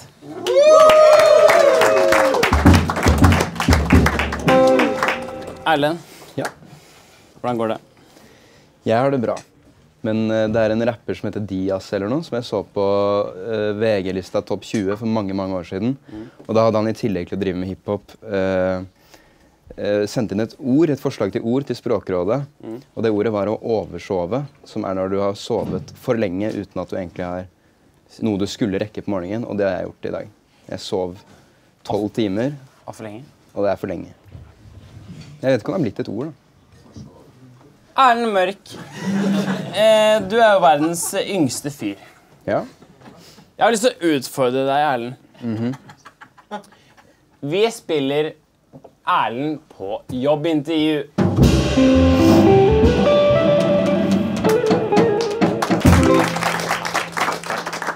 Erlend, du er nå på et jobbintervju. Ok. Og jeg spør deg nå, Erlend, Mm. hvordan er du som person? Nei, jeg, det varierer. Mm. Fordi i den bransjen jeg jobber i, så er man mye på nye jobber, for det er sånn prosjektbasert, og da liker jeg å teste ut, teste ut en ny personlighet fra gang til gang. Har du noen negative sider ved deg selv? Ja, mange. Fortell. Mangle disiplin. Eh, ja, så kan jeg være litt sånn svikfull, at jeg kan være lite lojal.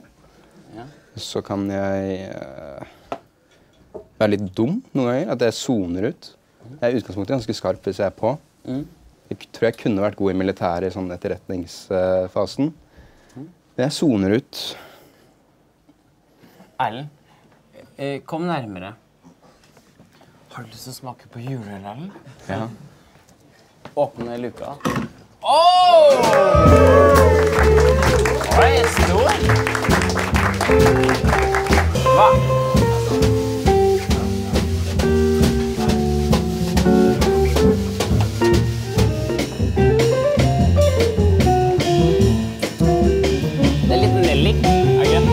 Veit ikke, men den prøver ikke på noe sånn eh, helt vanvittig. Altså, den prøver ikke, den tøffer seg ikke. Jeg kom på en ting. Ja. At hvis du, hadde, hvis du hadde skrevet kalenderen fullt ut uten den lille mangler- greia, så kunne jeg tatt ut bokstavene og skrevet Erlend med dem. Ja, gjør det. Nei, jeg kan ikke gjøre det når ikke én er der. Da blir det Erlend. Men det har vært litt gøy ellers, da. E R L N N Ellen Ellen Vi koser oss og har det hyggelig. Og det var da jeg sa til uh, dr. Phillips uh, Well, now we conquered Everest and we conquered our friendship. Takk skal du ha. Takk skal du ha. Er det er no, er, noen spørsmål uh, Er det noen spørsmål fra salen? Ja, du. Hvordan var betydningen av turen? Betydningen av turen, ja. For- Ja, for min del? Eh, er det noen som har- er det noen som har en penn? Vi kan illustrere det med en eh, La meg vise. Jeg har god tid. Jeg eh, har god tid. Etter en eh, tur på Everest så har man alltid god tid. Ja, se her. Tusen takk. Ta denne pennen. Jeg vil at dere skal følge nøye med. Se nå. Følg med nå. Se nå. Ok, se nå. Se nå. Se nå. Ja. Ikke sant? Og til slutt Ikke sant. Du er en, en, jævla kul fyr. Eh, og derfor så skal du få lov til å åpne pakkegreiene. Hva kan det være? Stearinlys. Stearinlys. Erlend Mørk, takk for at du var på besøk. Eh, Jeg håper du koser deg med lyset. Eh, til slutt i dag så skal vi da selvfølgelig få Lars Berrum. Og eh, Lars Berrum, jeg har et eh, lite høne å plukke. Hvis det er mulig at du bare er litt mer eh, tull og tøys-karakter. Ja, ja, litt jeg- mindre ja, sånn jeg budskap. det, jeg prøver jo så godt jeg kan, så jeg, nå tar du litt sånn um, eh, koppen av den teen, da, for å si det på norsk, eh, ved at jeg egentlig har planlagt en parodi da, for alle. Mm. Ja. Hva, du, hva, hva skal du gjøre nå? Eh, det tror jeg du skjønner. Bare si parodi. Ok, Nå skal vi få eh, Lars Berrum med en parodi. Å, fy faen. Ja, men så um, Ja. Hva er det Sitter du her uten mat, da? Nå må dere ha noe å ete på, folkens. Jeg er faen ikke kokken deres. Men det er faen viktig at dere eter. Jeg blir så sulten hele tida. Ja, takk for i dag. Eh, Vi ses i morgen.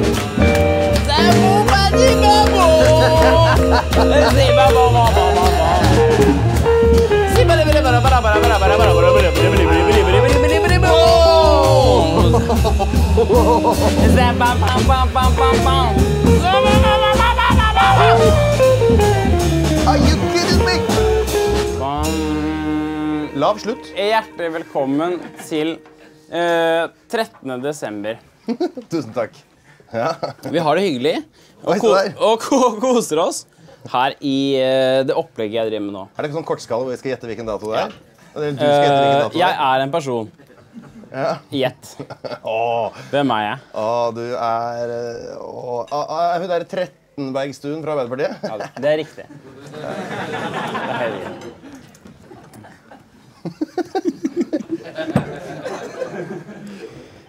Det er det sjukeste opplegget jeg har vært med på. Har du ikke gjort dette mange år før?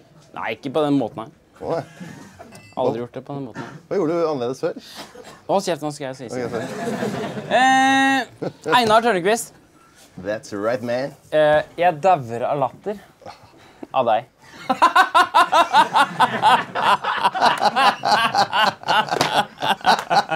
Du er jo mesteren på å le og kose deg. Om jeg er.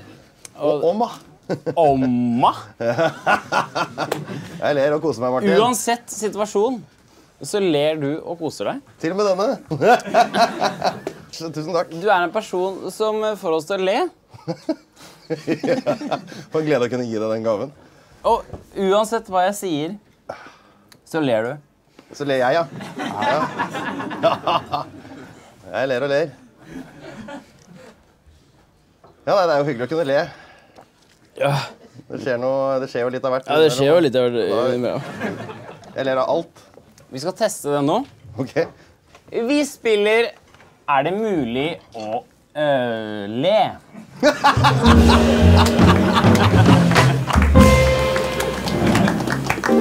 Det har jeg aldri spilt før. Nå skal jeg fortelle deg en historie, Ja. og du skal le. Jeg har gått til psykolog i et halvt år nå. Nei, det har du ikke. Og jeg sliter med angst. Det er ikke alltid så lett. Så det vært, så det har vært vanskelig for meg. Vi skal drikke litt øl. Oi! Oi!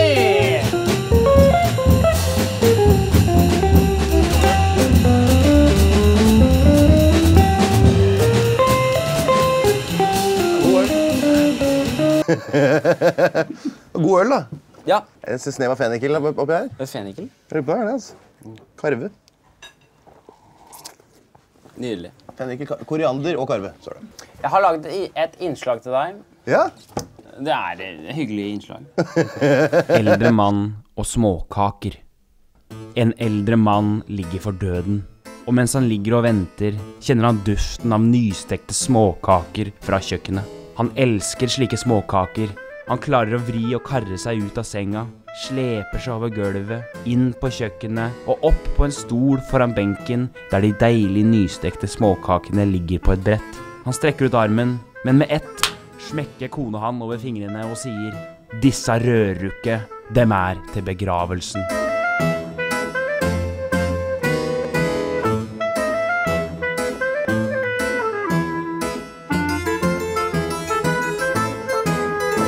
Hva sier du? Bare snakke litt om ølen. Ja, Einar Tørnquist. Jeg er jo en fyr som Hva ler. syns du om eh, ølen, Einar? Du, det var en veldig god øl. Eh, smakte jo eh, sånn midt i, midt i vanlig øl, den. Da går vi på pakkekalenderen. Da går vi videre. Rett på den. Vi går videre til pakkekalenderen. Eh, Hva Einar skal gjøre. Einar, Ja, hallo. nå skal du gjøre noe. Er det, er det noe mer spesifikt enn det? Ja, det er det. Det er klarsignal for oppakking av presang. Ja, ja, det kan jo være så meget. Og den er myk. Oi! Det er Et håndkle med pip-pip. Tørkehåndkle, er det ikke det? Jo, det er jo et av de håndklærne du bruker til tørking, vet du. Ja. Det, var, det er ugler som er eh, tema. Ugler er tema. Det skal jeg love deg. Og det er jo, det er jo kanskje den smarteste fuglen av de alle. Mm. Å tørke seg med en smart fugl er jo ikke det dummeste man kan gjøre på en Fra smart fugl til avslutning. Vi skal ha eh, Lars Berrum, eh, Norges beste eh, eh, eh, Oi, oi, oi. Og her går det unna. Han som var ute lille julaften.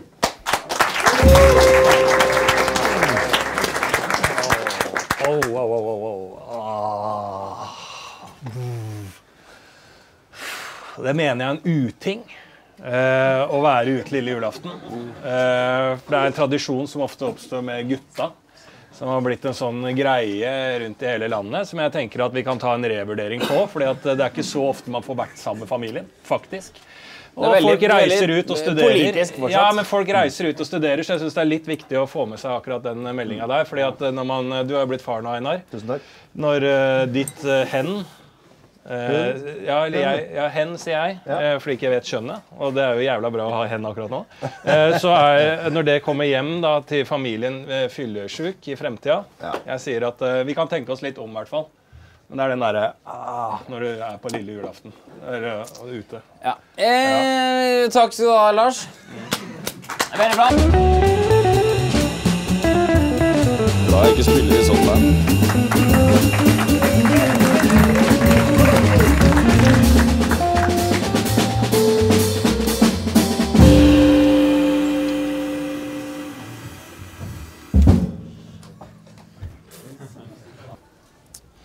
Skal vi si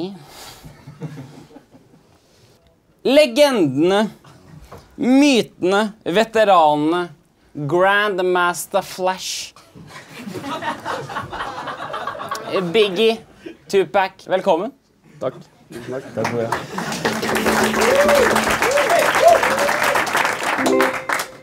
Uh, først og fremst, hvem drepte Tupac? Den amerikanske Polaisen. Amerikanske Polaisen? Ja, Johnny Depp lagde akkurat en film om, om dette, hvor all informasjonen kom ut. Hvem som ble drept, og Ja, nei Ja, skjønner. Eh, dere er jo noen typer som eh, misforstår meg rett, men dere har smakt mye narkotikum. har dere ikke det? De, noen sier det. Og det er jo lett å begynne å tenke at dere har mye konspirasjonsteorier. Av narkotikum. Jeg liker ikke at flyene slipper kjemikalier ned på oss. Det syns jeg ikke noe særlig om. For du tenker at det gjør det, ikke sant? Selvfølgelig gjør det det. Det er ikke det som er de stripene på himmelen. Det er nettopp det jeg vil eh, eh, fram til. det er helt riktig. Eh, Ett poeng.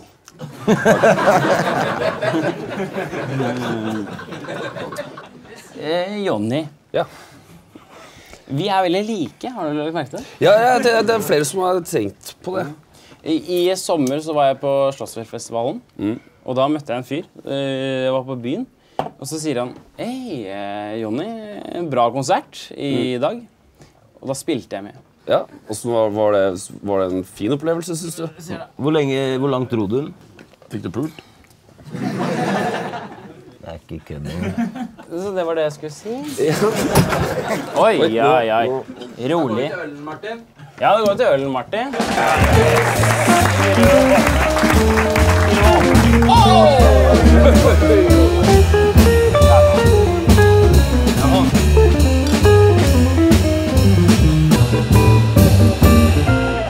fra glass? Fra glass, ja. Det er greit for meg. Dere er gamle. Det er, godt, det er veldig godt observert. Hvem er- Skal ikke du ha noe pils, da? Jo, jo, gjerne. Hvem er på en måte neste Johnny Onkel P?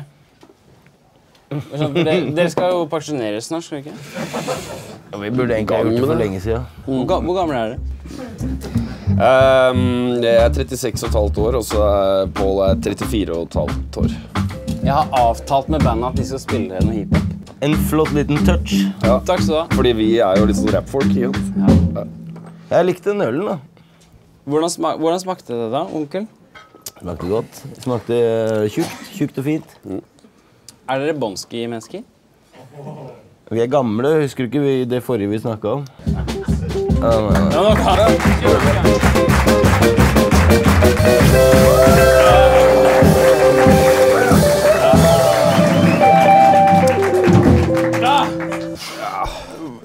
Jonny. Den var litt bedre når man drakk litt mindre slurker, syns jeg.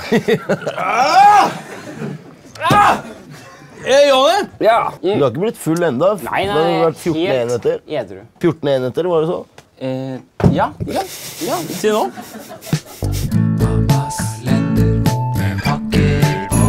Kalender. Vi må åpne opp. så Det er best å der. bra shit. Ja, jeg er veldig spent. Er det, du som har, har er dette noe du har lagd? Det er mamma. Det er mamma Har det flere det. hiphop-låter, eller? Ja, se her, vet du. Oh! Håndsåpe! Håndsåpe med aloe vera. Med aloe vera. Det er minner meg jeg hadde en venn en gang som pleide å røyke aloe vera. Jeg vet ikke om det her Det tror jeg ikke man skal gjøre. Nei, i hvert fall ikke såpeversjonen. Nei. Det er vel noe produkt. Eh, guttene, er dere glad i gulrøtter? Jeg eh, ønsker egentlig å bare ha gulrøtter i åkeren min, men problemet er at jeg har egentlig bare fått tak i poteter. Er det her det er gulrøtter? Og det er kanskje en gulrot. Hvorfor kommer det ikke gulrøtter i åkeren min? Hallo, er det politiet? Hva sier du? Ja, hallo, det er gulrotmannen, men jeg kan bevise at jeg ikke vet hvorfor jeg Gulroter. Hallo, gulroter. Der er gulrota, sier jeg. Eh, ja, hyggelig at dere kom på besøk, guttene. Hyggelig at vi fikk komme. Eh, dere skal aldri gi dere? Nei. Selv om vi er gamle. Det er ikke noen pensjonsalder eh, sånn På hiphopen? Nei, vi er selvstendig næringsdrivende, vet du. Det er ikke liksom Perfekt. ja, ja. Det er Hva ikke heter neste låt? Vi skal aldri gi seg. Gammel og fæl, heter Og så videre. Jeg er en, eh, en eh, legende innenfor rapp og underholdning. Eh, takk for at dere kom. Eh, Lars Bærum skal som alltid avslutte kvelden. Kveld er det kveld, kveld er det vel, kveld er det vel, jeg er ond. Ja, det det, ja. ja, takk for i kveld. Eh, Vi ses i morgen. Eh, Ha det bra.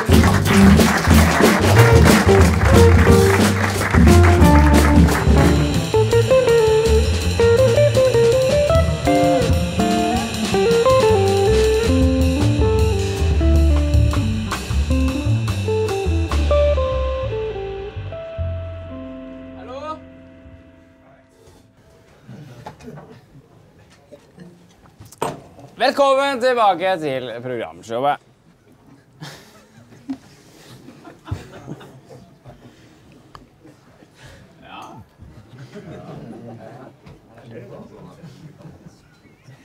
Å, nå kan jeg sove.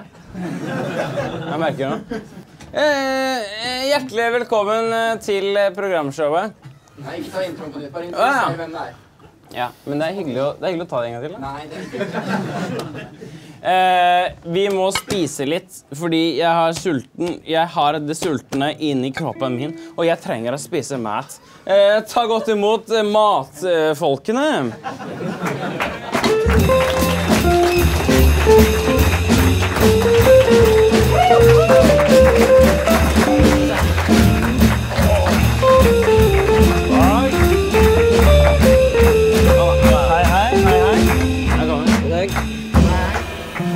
Guttene. Ja. Vi har på besøk i kveld eh, de som skal servere oss med mat. Det er meg, da. Jeg, er oss, dere er dere. Dere er stjernekokker. Dere leverer deilig mat.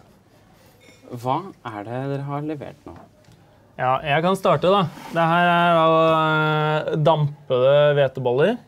Toppa med kimchi-røre. Eh, Stekt eh, hjerne fra smålahove. Toppa med sprøtt kyllingskinn og semitørka sjampinjong. Spennende å høre på. Det er steambønn. Mm. Godt. Det er godt. Du må ha med sånn sprøtt kyllingskinn. Mm. Det er sterkt. Det er folkelig sterkt, som vi sier. Sterkt som faen. Eh, Frans. Nå trenger jeg deg. Ja. Hva skal jeg gjøre nå? Nei, du vil ha en øl til maten? Ja. Guttene. Dere liker mat? Nei, mat. Hvordan er det med drikkinga? Ja, det er jo det som er verst. Minst like god. Liker dere drikkingen? Ja. Nei. Jeg klarer ikke de kokkegutta. Be de om å ta ut, åpne opp luka. Ja. Martin, du må si det. Jeg heter Martin, og jeg ville at dere skulle åpne luka. Ja da! Oi! Ås. Ås i julet. Ja. Da må han få den kaka på den. Det er godt. Hva er det som serveres her? Eh, litt fritert maislefse med rødbetartar, speka bever, sylta løk og en eh, skjev og grønn chilikrem. Har dere hilst på regissøren av programmet? Eh, Frans, kom hit, da.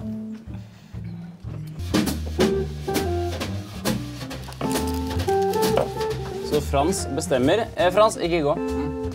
Hva er det som skjer nå? Hva er Nå skal vi neste åpne opp program? pakke. Riktig. Eh, veldig bra. Det er kjempegodt. Det her går kjempebra, da, Frans. Nå må vi åpne pakke. Ja. Da skal vi åpne pakke. Ka- kalender. Den der crack-pien den er som crack. Oh. Hva er det her, da? Oi, oi, oi. Foro. Vaffeldingen. Ja. Hvordan er, eh, hvordan er dere på julebord? Har dere, hatt, har dere hatt tale på julebord? Det er eh, sjelden tale på julebord. Jeg har et innslag om det. skjønner du. Det er jævlig gøy. Da er det bang, bang. Da er det, å faen, nå er det OK. Eh, ja. Da er det eh, Jeg har eh, fått eh, skrevet en eh, Jeg har skrevet en eh, tale, men eh, det er eh, det er bedre at det kommer fra hjertet. Er jeg, jeg, fø- fø- fø- føler at jeg, har- lyst til å si at jeg, har en, tale. Så, det, det, er er veldig greit. Så, ja, ja, ja. Skål. da. Gå og smake på kaka. da. Veldig hyggelig det her, da. Ja, absolutt. Rusla i går. Vi koser oss. Ja. Ok, Martin, da introduserer du Lars. Men hva skal jeg si? Per Larsen må komme for å gjøre karakter. Ok. Lars Berrum er jo Norges beste eh, eh, person. Ja, jeg bare tenker på i, for, eh, nå, Men jeg gjorde Hellstrøm-karakteren tidligere. Ja. Men så visste ikke jeg at det skulle komme kokker, så jeg tenkte nå, nå hadde det vært eh, den Ja, vi prøver igjen. ikke, ja, bare tar den en gang, hvis det er greit. Ja, ja, okay. Det er ikke så mange seere som blir med. sånn. Ja, Da er det Lars Berrum skal gjøre Helstrøm-parodi, da, eller?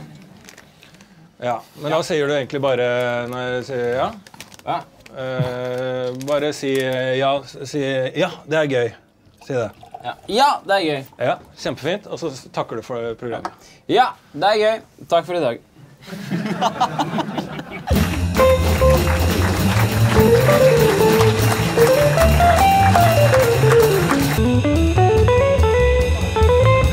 Men det pleier å være sånn at eh, programlederen sitter, og så kommer jo gjesten inn, og så kanskje man så komme inn, altså. Det, det er sånn det pleier å være. Se nå. Ja. Drit. Ser du det? Ja!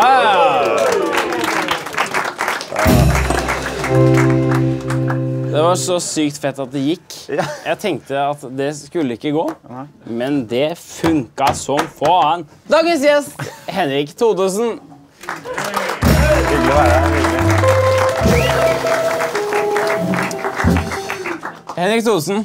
Ja. Eh, nyeste boka til eh, Annie Jord. Ja. Les den. Nei. Hun skriver jo nå om eh, eh, han fyren i broiler. Og hvordan føles det for han, eh, skriver hun om. Det har vært et helvete. Har det vært et helvete for For henne. For henne, ja. Hva tenker du om at eh, hun har skrevet eh, så mye om hvordan han har uh, fucka med liksom, forholdet hennes til eh, han og slike ting? Hva, hva, var spørsmålet? Annie Jord. Ja. Hun var sammen med han i DJ Broiler. Ja. Og Og han har også en... kjent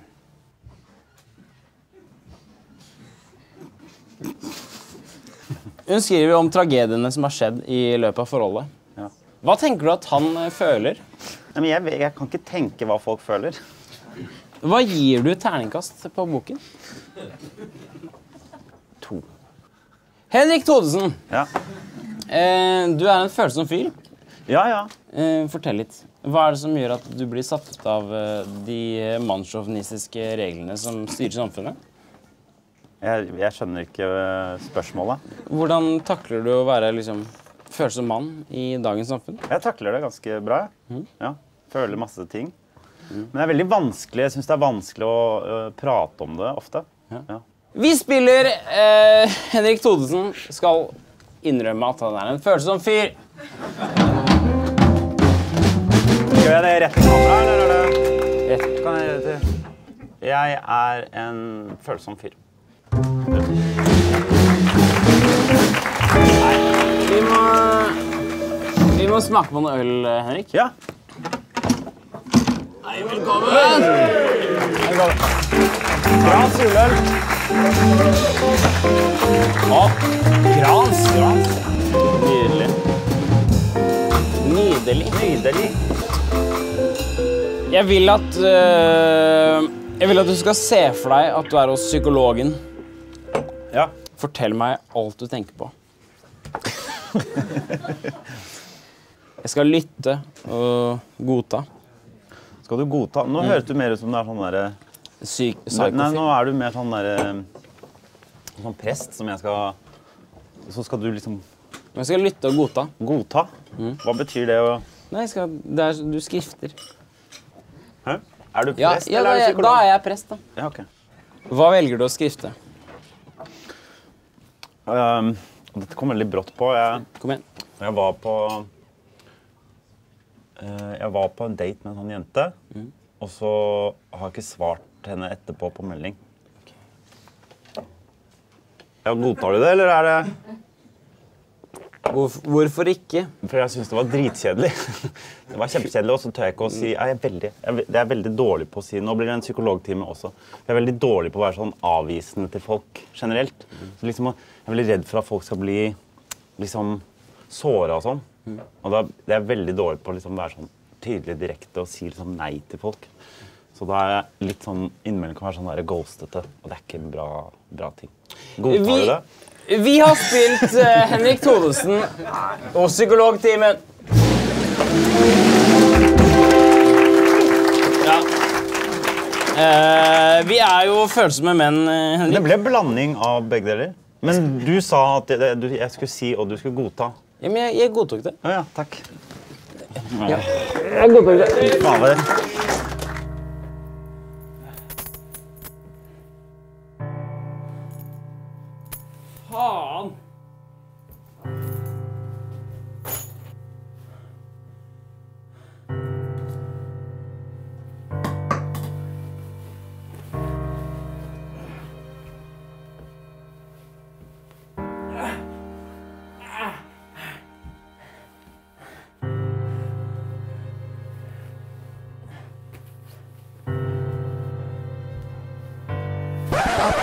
Dette sikkert opplevd før. Rett fra.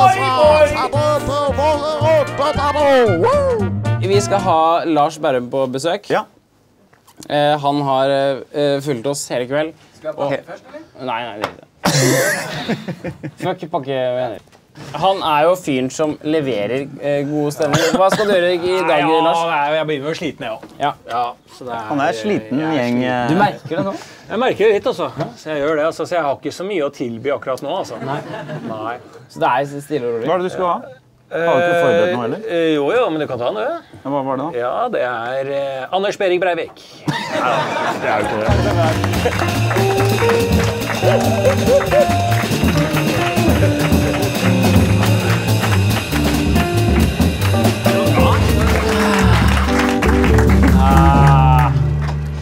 Ja.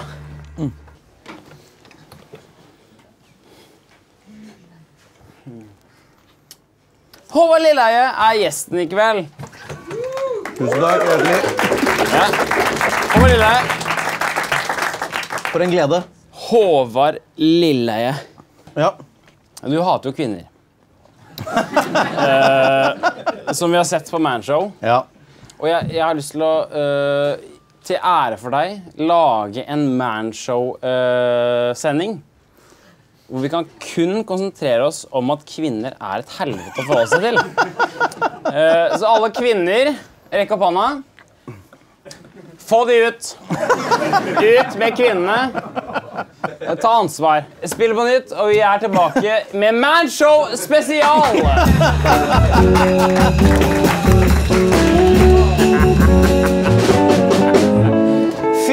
Faen, fuck damer, ass. Nei, vi, vi er enige. Du, Hjertens enig. Takk for, uh, takk for veldig ryddig og, og sterk intro. Jeg er jo l- litt sånn uh, uvant med å være mannemann, men bare si ifra hvis det blir feil. Fuck damer, da! Eh, Fuck damer! For øl. Ja, skal vi drikke La oss drikke øl. Hva er det?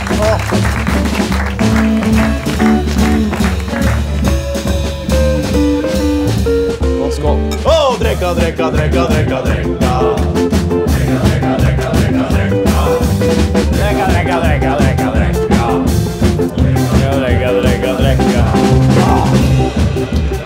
Det, Men det det var en deilig Manchester-stemning.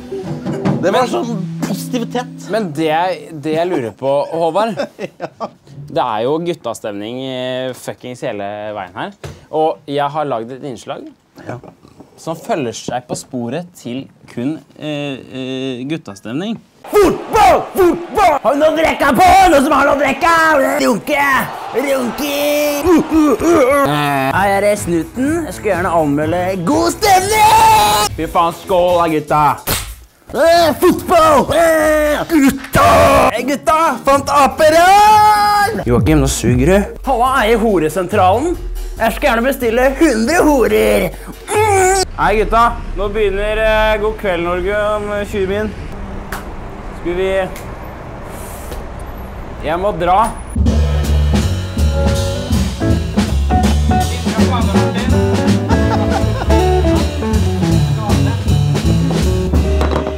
Tusen takk eh, for at eh, dere spilte den sangen der, guttene.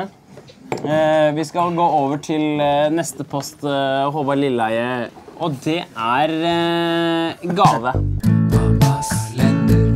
Ka- kalender. Lykke til. Hva skal jeg plukke vilkårlig? Ja, vilkårlig. Er du redd for kvinner? det er det som er greia. Du er redd for kvinner. Ja, ja, det er frykten det går i. Følelsen av å føle seg liten og ta igjen. Skal vi se. Her, jeg vil ta den myke. Ta den myke. Kluter. Ah, kluter, ja. Ja. Klutene. Hallo. Er det, bare... er det politiet jeg snakker med? Ja, hyggelig, hyggelig å hilse på dere. Uh, ja, Håvard. Lykke til med klutene dine. Takk. Det var det vi rakk. Det var- det var fra, hyggelig, si. Fra dagens uh, show. Lars Berrum, er du klar for å eh, gjenoppstå Ja, jeg synes jeg, jeg var liksom, jeg skulle ha karakter også, men jeg syns det blir litt sånn uh, ufint. Eh, hvorfor med- det? Nei, men det er liksom sånn uh, det er, Jeg skjønner at det er humor med kvinnegreiene og sånn, men det er visse ting man ikke kødder med. Nok er nok. Nå må vi begynne å ta kvinner på alvor, ikke bare tulle det bort, liksom. Eh, nei, så jeg tror at publikum er enig med meg når jeg sier at det er nok er nok med at vi disser kvinner. eh, og at vi...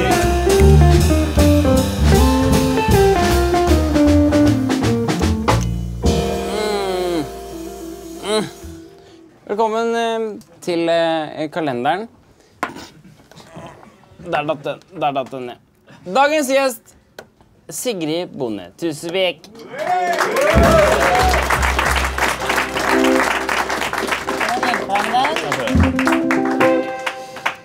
Nei, den er veldig Vi må eller feste den på nytt. Bare snakk med meg videre mens jeg jobber med Sigrid. Bonde Tusvik. Problemet med ja, Det er en apostrof Det skal ikke være apostrof i kalenderen. Det. Norskmessig er det veldig feil. Ja, men det er sånn sleng, slengmessig, så Er er det sleng? gull. Jeg visste ikke det var slang. Slangmessig er det gull. Sånn. Ja. Sigrid Bonde Tusvik. Velkommen skal du være. Uh, du sier mye rart om Martinsen. Som er kjæresten din. Ja. Har du hørt på podkasten min? Ja. Jeg hører på daglig. Uk ukentlig. Jeg også heter jo Martin. Ja. Du heter jo Martin. Martin heter Martin! Ja. Så det er forskjell på å uttale Martin og Martin. Det som er bra med Skrike-Martin, er at det er høyt på starten, og så er det Martin! Ja, det er fint. Og så er det ned etterpå. Martin! Men det jeg tenker på, er at uh, du har mye å klage på med Martin. Det kjeftes. Ja, det kjeftes mye. Men uh, jeg skal jo ikke kjefte så mye. Men jeg, altså, den podkasten er da dessverre bygd på kjeft på Martin. Da. Så er det veldig kort podkast hvis ikke jeg får kjefte på Martin. Og egentlig generelt standup-messig så har jeg ikke noe materiale. Så jeg er veldig avhengig av at ikke jeg og Martin blir eh, milde med hverandre. Eh, Kan du se her? Er det Ja, her er det, her er det øldiggen. Stor øl. Ja. Må du drikke opp alt? Det er litt av premisset. at jeg må det. Men da er jo ikke dette én øl. Da burde du klage på folk som skjenker deg. For dette er jo Frans. mer enn én øl. Jeg klager på deg. Hvordan føles det å være inne i internett? Veldig fint. Mm. husker du første gang vi møttes? Var det med Morten? Backstage på TV 2. Du møtte meg, og så sa du 'fint navn'. Der har du navn. Ja. Mm. Og det har du jo melka som bare faen. Mm. Ja, for det funker navnet. Navnet funker jo. Navnet- Foreløpig funker det. det. Jeg har satsa mest på navnet. Mm. Ikke noe mer, egentlig. Du lagde 'Sigrid søker kjæreste'. Jeps. Husker du det? Ja, jeg husker det. Har du sett på 'Sigurd søker kjæreste'? Sigurd Sollund? Nei, det det er et nytt program nå som heter 'Sigurd søker kjæreste'. Har du sett på det? Nei. I verden i dag finnes det over 600 millioner single mennesker, og over halvparten av disse er kvinner. Bli med inn i jakten på kjærligheten i Sigurd søker kjæreste. Jeg er på byen i dag, og jeg skal inn og sjekke om det er noe legs som jeg kan boltre meg i.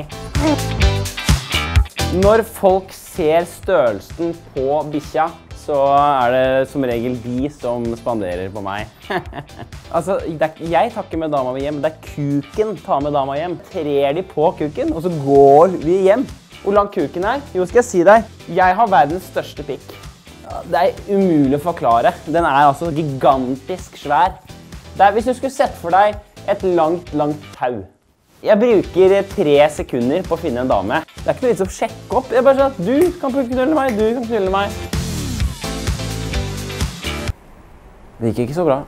Jeg eh, skulle ligge med en dame, så måtte jeg ta av meg buksa. Men det gikk ikke. Fordi Fortell. Fordi jeg har ikke noe pikk. Sånn kan det gå. Ja, veldig hyggelig. Så sånn kan det gå, eh, Sigrid. Ja, det Når man var ikke søker bra. kjæreste. Uff, uff, uff. Jeg har lyst til å gi deg en pakkekalender. Kalender. Jeg får åpne. Au! Tresleim. Å, den er laget i Oslo fengsel. Ja. Åh, hvem tror du har laget den? En av de innsatte. Tosca? David. Tror du Nei, han er ute, han på prøve. Æsj. Da er det noen andre. Og det hadde vært så gøy hvis det var en sånn hvis det var gamle Veronica Orderud som hadde laget denne, den siste hun lagde før, uh, før hun slapp ut. Hun fikk brystkreft pga. dette. Jeg skal introdusere nå Lars eh, beste kvalitetsfiguren i Oslo. Mm, Jeg liker han veldig godt. Da skal vi ha eh, Lars Bærum som sinna argentiner. Argentina! Ah, Argentina! Ah, de- tapas! OK, eh, vi ses i morgen. Takk for i dag. Ha det. Bra, Jeg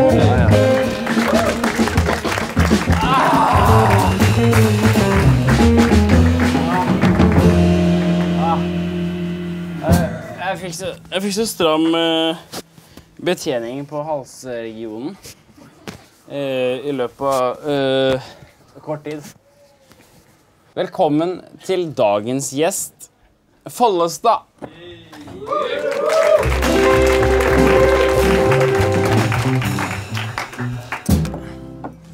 Erik Folstad.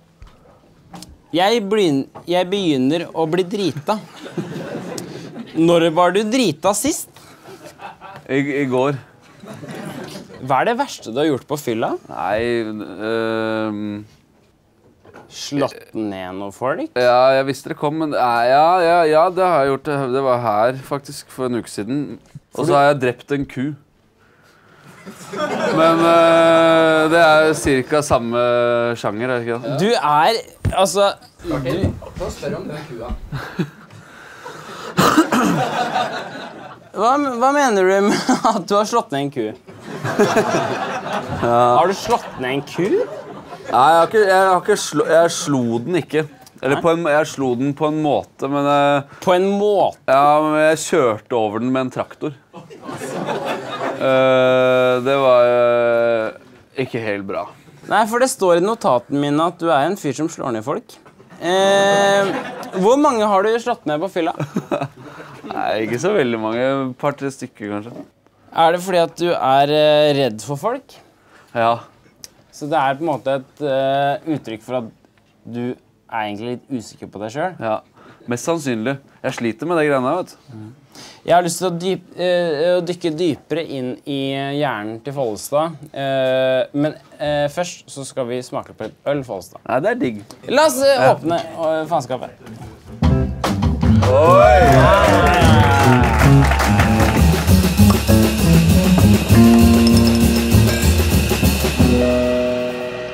Eh, Follestad. Ja. Du, du trenger ikke være en tøff fyr. Jeg tenker sånn, det er, De musklene er jo på en måte ditt øh, valg av øh, personlighet. Er det det? Ja, det er det. Det tenker vi alle.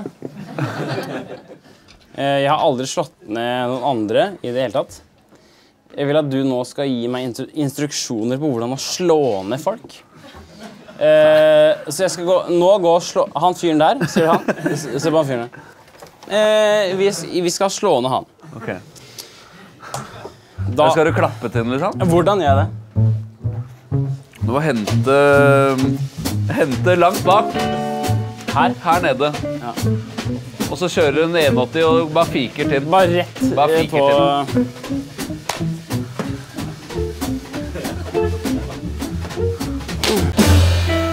Erik eh, Erik Follestad. Det er så hyggelig å ha deg her. Det er veldig hyggelig å være her. Jeg elsker å komme litt inn på hvordan du egentlig eh, har det som mann. For du fremstår jo som en eh, ganske sånn hard fyr.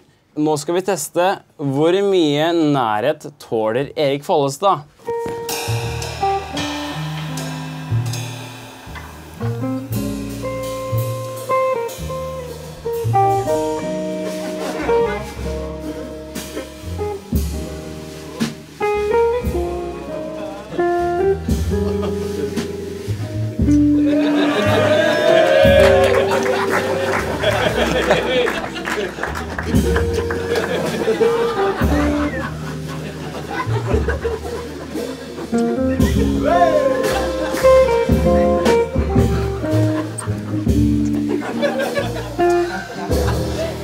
Det var ikke det jeg forventa av meg av denne konkurransen. Erik Folstad, du er en hard jævla fyr, men samtidig en følsom liten klatt. Jeg respekterer deg for alt eh, det du holder på med, og på grunn av det, Folstad, så skal du få lov til å åpne pakkekalenderen. Smooth overgang, ja, Frans. Det blir det beste showet. TV Norge kan gå og legge seg. Ja, glem TV Norge. Det er uh, peanøtter. Peanøtter! Men det, det er jo egentlig ganske digg. Det er det. Kan jeg ta det med meg hjem? Absolutt. Du, har, uh, du er med i Sportsklubben, og dere har en spalte som heter Ikke lov å le. Ja. Jeg har laget en, et innslag som heter Ikke lov å le ved. Ok.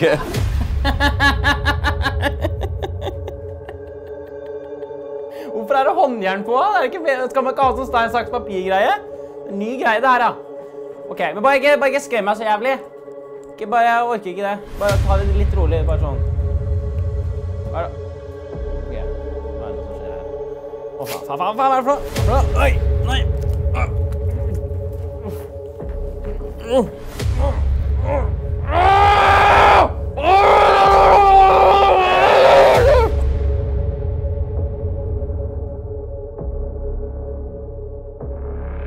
Da har vi sett på det, og til slutt eh. Takk for at dere hører på podkasten min som heter 'Hallo, hva skjer?' da? Eh, Lars Berrum skal som alltid avslutte programmet. Eh, takk for i dag, eh, Lars Berrum.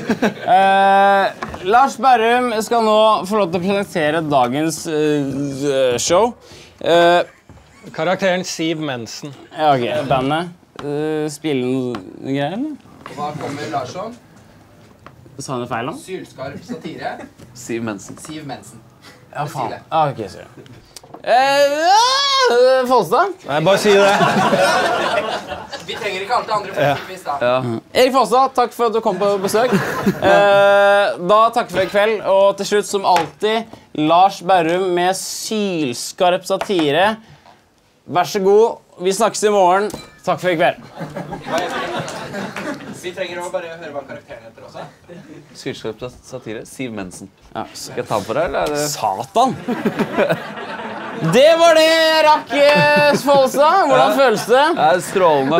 Eh, Takk for i kveld. eh, Og til slutt i kveld eh, så skal vi ha selvfølgelig hver gang Lars Berrum med sylskarp satire på scenen. Jeg skal gå på do og tisse litt. Vi ses i morgen. Takk for i dag. Siv Mensen, vær så god. Nå er det jul igjen! Morgen er helt i påske. Gaver til meg, meg, meg og Søviknes.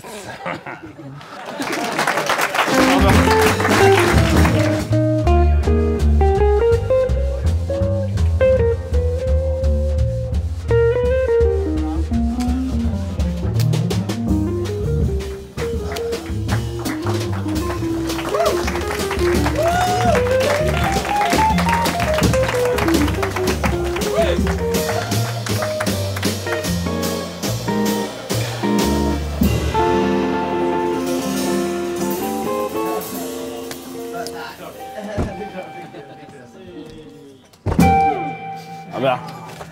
Hei, Henrik. Nei. Ikke noe Ikke lat som. Vi er gode venner. Veldig bra. Takk, Martin. Nå Det er klipper Nå, ja, men det her blir bra. Vent litt nå. Jeg skal spørre deg om en ting.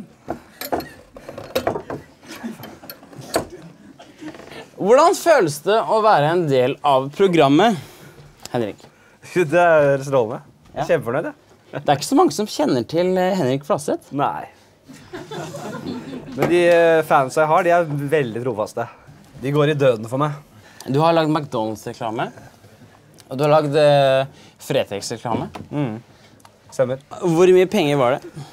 Ja, Det var jo du lov til å si 75 000, men jeg fant jo ut at jeg kunne fått 150 minst. da. Så jeg ble jo jævla, jævla nedfor da når jeg fikk høre av en kollega at han bare, han bare han fikk tilbud om altså 150 000. Han nekta å gjøre den, og jeg sa ja med en gang.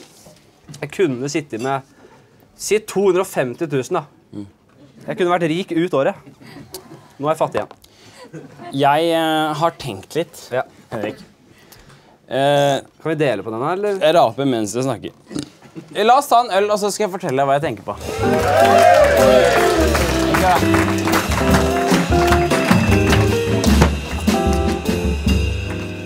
Jeg har eh, faktisk planlagt hvordan eh, reklamepausen skal være i kveld. Jeg har litt lyst til å gjennomføre det. Frans, måten vi skal ha reklamepause på nå, er at jeg skal trylle bort til Henrik. Ja. Så jeg sier simsalabim, og så, går Henrik bort. Det er så kult å tenke på hvordan eh, det kommer til å se ut. Ja, men det kommer til å se dritfett ut. Sim, sala, bam! Og så er det reklamepause. Bam!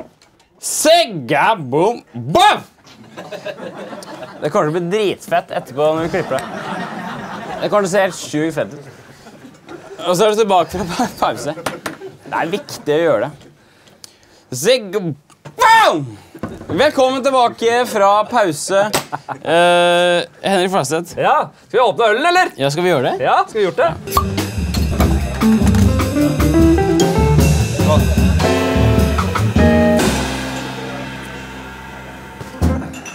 Henrik Fladseth. Takk.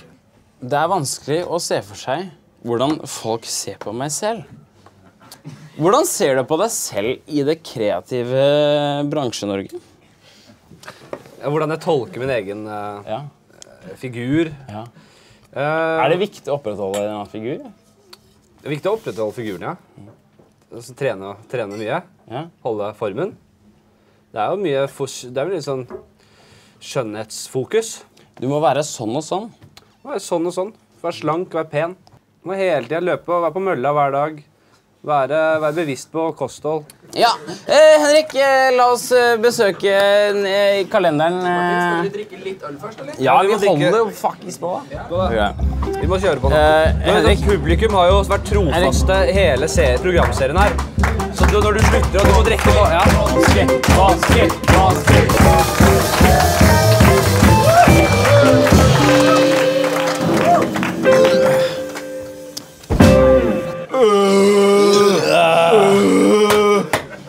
Vet når man bånsker, så var det en C med. Du er som en Harald Heide Steen. Jeg er som en Rolf Wesenlund. Eh, se for deg, vi to er jo faktisk eh, det, som hadde, gode, ja. det som hadde vært eh, Wesensten.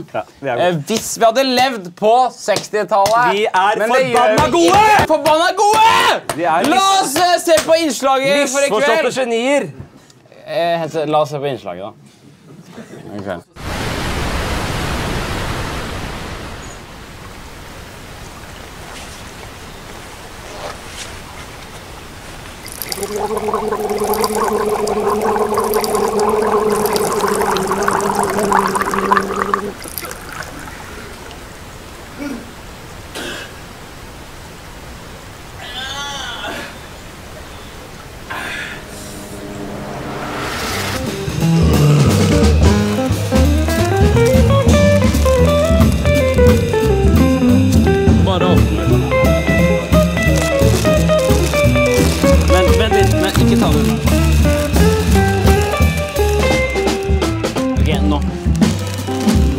Da er det pakkekalender, Henrik. Kalender. Pakke nummer tre. Åpne. Åpne. Ah, Eh, det er en eh, Blyantspisser. Blyantspisser. Blyantspisser. Akkurat, akkurat det jeg ønska meg. Eh, takk for at du var på besøket. Jeg setter så pris på at du er den du er. Ja.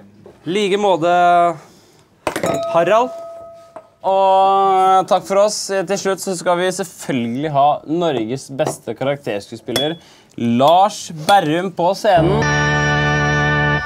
Og i kveld skal han spille stereotypisk kinesisk karakter. Konnichiwa, jeg heter Kina. Gleder meg til jul. Eh, Vansker meg våler. Eh, og greier ikke å si R. Ja, eh, takk for i kveld. Eh, Vi ses i morgen. Episode 21. Episode 21? Opp på beina. Ja, ja, faen.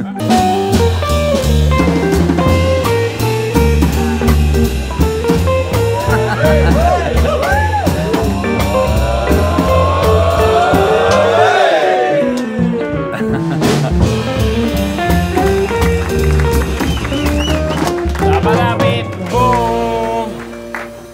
Velkommen til juleølkalenderen. Nei, vent da. Det er et annet program som heter det. Velkommen til kalenderen. Ja, det er riktig. Dagens programleder heter Martin Marki. Og vi har en gjest på besøk. Erik Solbakke.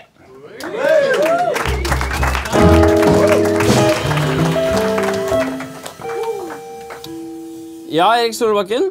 De gikk fra TV 2 Nei, det gikk fra NRK til TV 2. Er det lov å kalle deg Erik Solnedoverbakken? Den var stygg. Nei, den var innafor, den. altså. Det, var, det er ingen som sagt det før. Det er første gang noen sier det. så det...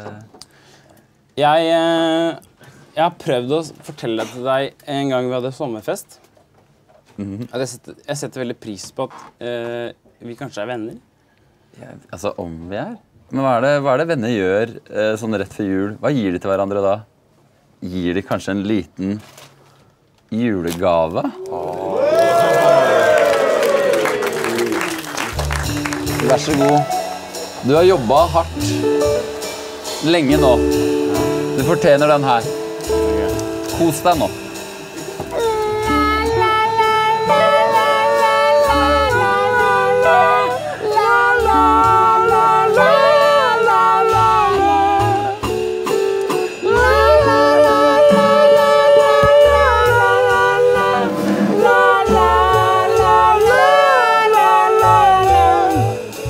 At jeg bruker mye teip. Eh, teip og fulle folk, det er de to tinga man Men Tre nøtter til Askepott. Fantastisk historie.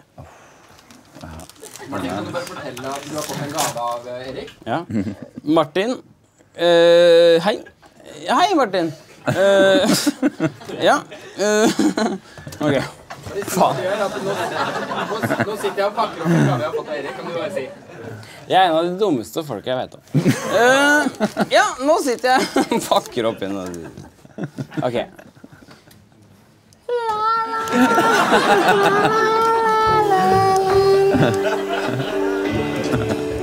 Eh, tusen takk, Erik. Eh, jeg åpner gave fra Erik Solbakken. Satan!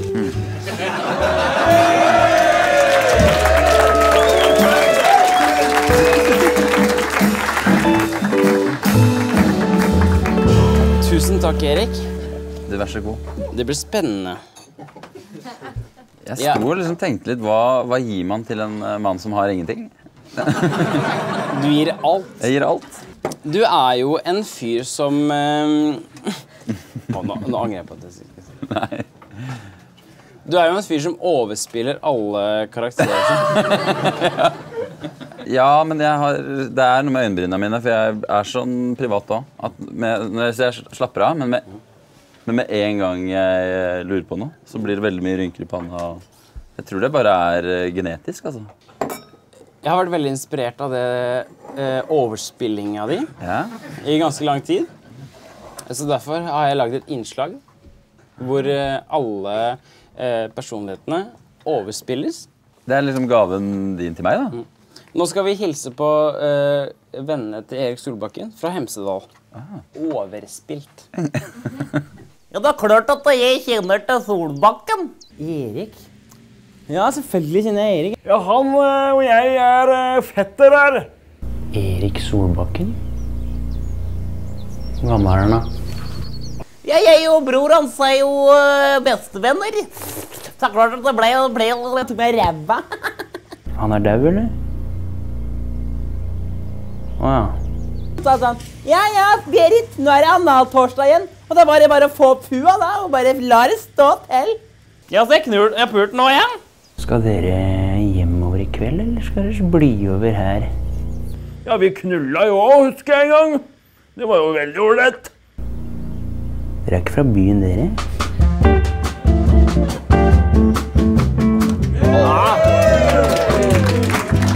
Den der. En liten en her. Hva er, hva er det? Her har vi en liten Miss Sophie. Mr. Sophie? Nei, det er Miss Nei, Miss Sophie. ja. Selv i 2018 så er det Miss Sophie, altså. Den her tror jeg faktisk fikk eh, bra i en eh, øltest jeg leste. Denne? Le, kan du spille noe hiphop?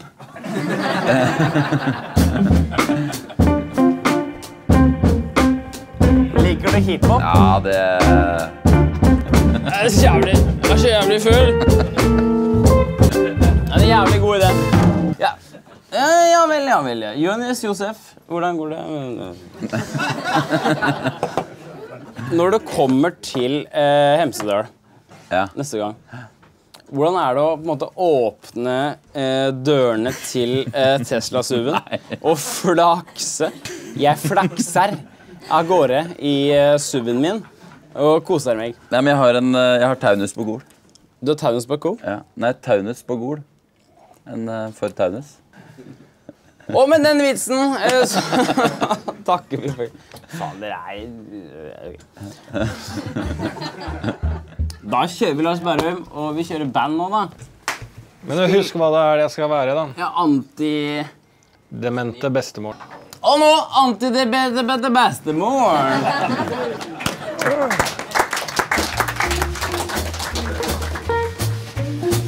Åh, jeg er 100 år, husker alt av krigen. Åh, Jappetinn og Thorvald! Jeg Syns ikke det satt helt, jeg, med jeg synes, Nei, altså, det var bare litt sånn you better watch out. Nå følger ikke ja, men, jeg, jeg, jeg, jeg mener, at han har blitt for full. Jeg tenkte liksom å få til en sparring og sånn på de karakterene. Den dementgreiene er liksom at jeg gjør- motsatt vei. da, For dement så er det liksom du glemmer, og så anti så Ja, du husker jævla mye. Så, men jeg, kan ikke gå, jeg har jo ikke så mye tid at jeg kan gå gjennom alt i livet til den gamle dama. Så Nei, det men blir hva hoppa veldig stort. ja, men Jeg starter med krigen, og faen, og så er det jappetida. Så Ja. Vi kunne tatt olja isteden, selvfølgelig, men så er det oppover, da. Satt Jeg er litt, da, på litt keen på å begynne å synge. Hva sier du? Jeg er litt keen på å begynne å synge. Ja, da gjør vi det, da. Kjør. Stor applaus til bandet, mine damer og herrer. Hæ? Flott jobbet. Tusen takk for det flotte arbeidet deres, bandet. Herlige greier. Ja. Ja! Ja! Ja! ja! Hei, velkommen til eh, programserien Opp med volumet, Martin. Hei, velkommen til programserien eh, Kalenderen. Det er det som er problemet. Hva da? Det blir så sykt sånn kommersielt. Ba, ba, ba. Ba, ba, ba, ba, ba. Hør, OK, hør. Hør, hør nå. Hør nå. OK, klapp en gang til.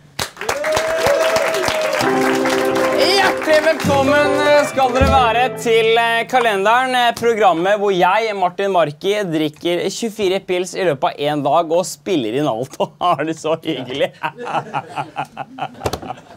Ok. Eh, Jonis. Eh, Jørnis. Ja, si hva du vil, Martin. Jeg setter så sykt pris på at du har uh, vært med hvert eneste år. Nei, det er jeg ikke. Nei, du var med i 2015. Da var jeg med. Husker du det? Ja. La oss ta en tilbakeblikk på det. Ja, kommer det faktisk på? Ja, det gjør det. Men ikke nå. Hvorfor ikke? Vi tar det i postarbeidet.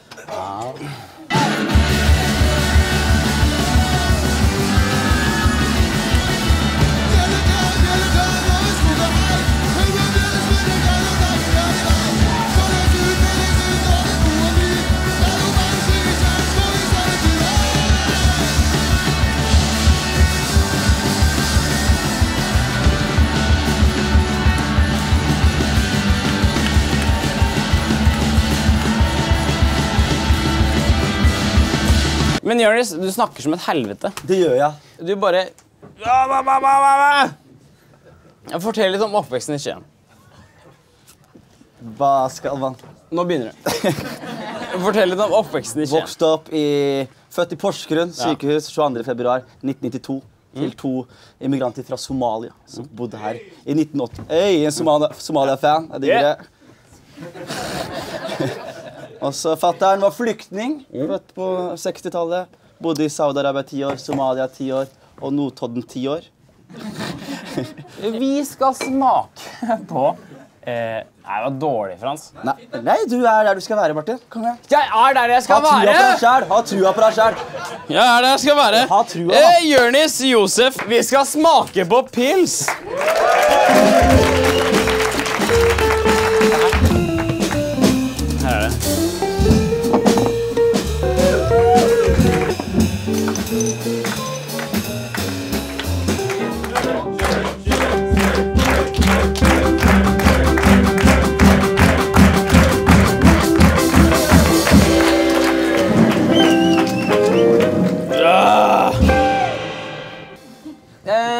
Jonis Josef. Martin Marki. Utabys. Det er litt morsommere å spille musikk og danse. Ja, hvis jeg, jeg gjør alt for deg, Frans. Jeg hater regien du har.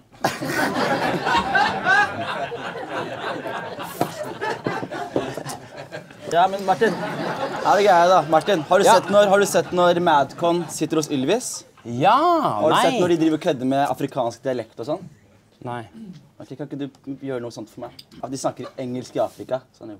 What can I help you with, product? Ja, the product. Yeah. I'll help you with the product.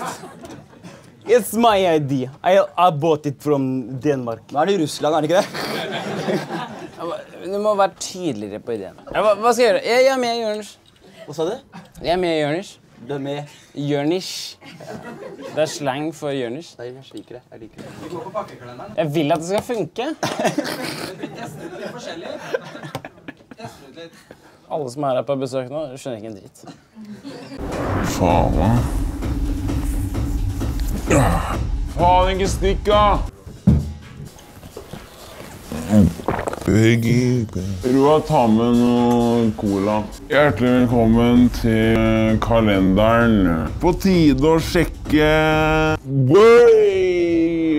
Ja. Ja, faen. Slapp av litt, da! Dagens eh, Det er jo moro å tenke på at jeg har holdt på nå i Det er fett. Det har jævlig vært jævla moro å reise og få Vi er tilbake i morgen, vi. Roa, kan ikke du hjelpe meg å holde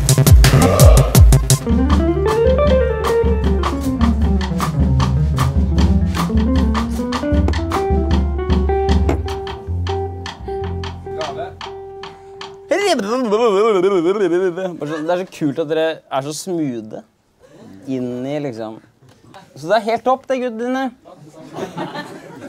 Ja, Jonis. Ja, Martin. Jeg har lyst til å gi deg en gave. Tusen takk. Kan jeg få den? Og den er fra mamma. Kalender. Se til høyre side. Hvem av Ja, de? jeg fikk pose i halsen. Hvem av posene da? Nei, jeg fikk pose i halsen. Hæ? Jeg fikk pose i halsen. Ta en gave. Ja, men Kan jeg ta hvilken som helst? Hva heter det for noe? Når du får posedassen? Kan jeg ta hvem som helst gave? Ja, ok. Ja. Skal jeg åpne selv? Ja. Jeg skal nå trylle bort uh, Jørnis. Hollandaisvafler? Jeg skal nå Elias, jeg skal trylle deg bort. Hæ? Sist. Jeg skal trylle deg bort. Ok. Av Hva skjer? Han? Nei! Nå er jeg borte i postproduksjonen. Ja, Jeg har flytta nå, og så ser det ut som du, at jeg har trylla deg bort. Og så klipper vi det inn, Frans. Jeg sier ja. Oi! Ja, ja, ja. Ja, det kan jeg gjøre. Jeg elsker uh, at jeg tenkte på tryllestaven. Vær så god. Vær så god. Tryll på deg selv. Ha, ba, ba, bo, du.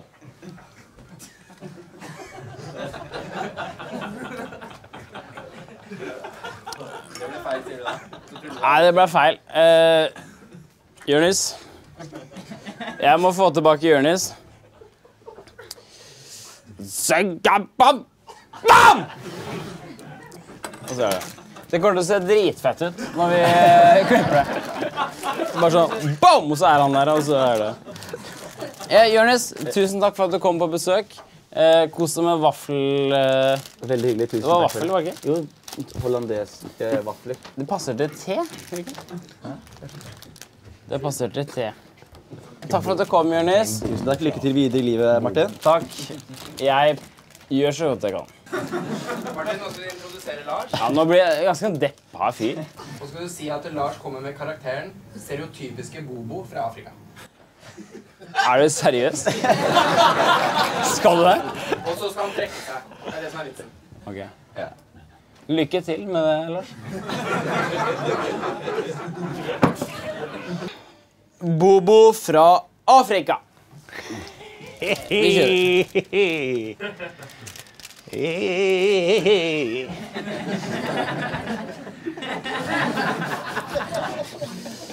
Kjempebra, Lars.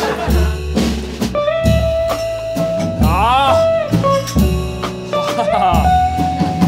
Ja. Ja.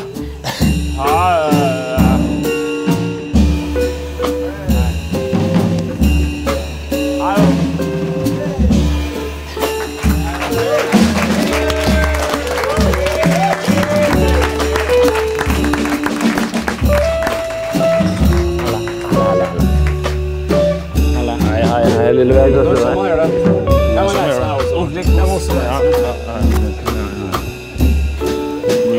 Koser oss. Vi koser oss. Kommer deg forbi. Kommer deg forbi. Ja, ja, ja, ja, ja, ja.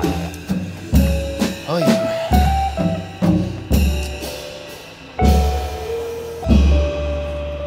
Hjertelig velkommen, eh, hvite gutter. Tusen takk. Tusen takk. Tusen takk. Tusen takk. Takk. Tusen takk. Det var veldig hyggelig å bli invitert. Det var veldig hyggelig. Eh, hvordan eh, føles det Å være her? å være her? Det føles ganske deilig nå på lille julaften. Er det, er det ikke lille Jo, det er lille i dag, er det ikke? Det er Det er lille. Det er deilig Det er snø ute og hvite ting. Det liker jeg. Ja. Se, se her, da. Ja, fader. Det snør. Oi. Ser du det? Jeg ser det. Se oppi, oppi toppen av treet. Er det Er det for noe der, da? Ja, det snør. Det er snø, ja. Oi. Ser du at det snør? Jeg ser at det snør. Eh, hvite gutter. Er dere rasister? Jeg, jeg er ikke det. Nei, ikke, ikke jeg heller. Ok. Nå er, nå er de, de to andre er jo ikke her, da, så du må spørre de. De får snakke for seg selv, men vi er ikke ikke Så rasister. dere, dere er en del av de som ikke er rasister. Ja. Vi er en del av de som ikke er rasister. Mm. De to andre Vi kan ikke snakke for dem. Nei. Eh, Det som er spennende, er at eh, dere er jo hvite gutter fra eh, vestsiden. Bortsett fra han. Så det er på en måte en dokumentarserie. Ja, det er det. Fortell litt om det. Uh, jeg er jo ikke fra vestkanten, da. Som du ser i den dokumentaren, så er jeg fra Sarpsborg. Uh, men det er veldig spennende å lage dokumentar eh, med andre hvite gutter. Ja. Det føles jo veldig ekte uh, når man holder på. Eh, og så skrur man av kameraet, og så er man jo fortsatt hvit gutt. Men trist og alene. Så dere på en måte later som dere er hvite gutter, Ja. men dere lager en serie om hvordan det er å være hvit gutt Ja. på Vestkanten? Ja. Men det er ikke alt som er på vestkanten. da. Vi bare later som det er der noen ganger. Sykt interessant eh, tematikk. Ikke sant? Kjempespennende. Det er kjempespennende. Hvor er de andre hvite guttene? Han Epe, han er vel på Han er på russebuss. Han er på russebuss.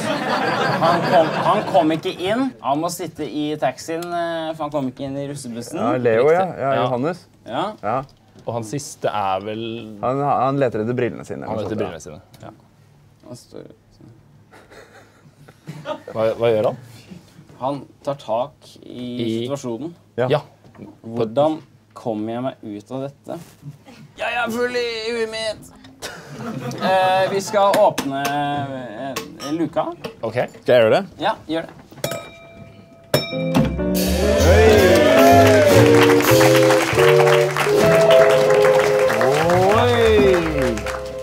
Hva, hva er det? Det er uh, hvit jul. Los Grünerløkka Vites bryggeri. Jules. Men du må jo få en hel. Jeg syns du skal få en hel, jeg, Martin.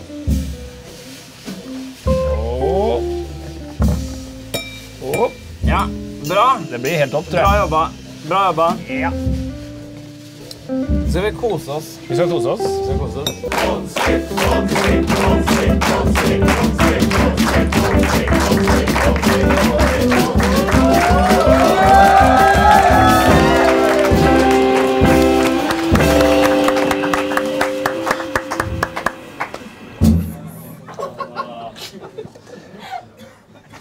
Å, shit, det er helvete! Ah, satan! Åssen dialekt var det? Ja, det var noe eh, grenlands... eh, trønder i Helvete. Ja. Velkommen til julekalenderprogrammet. Det er faen meg det dummeste jeg har. Takk for at dere kom, eh, gutter. Men skulle ikke vi få en gave? Nei. Jeg har sett at det er noen som får gave. Er det ikke gave? Jeg skal trylle frem gaver i deres hender. Ja, gjør sånn. Og når jeg sier abrakadabra, så skal det ligge gaver i deres hender. Abrakadabra. Se simsalabim. Bam! Oi!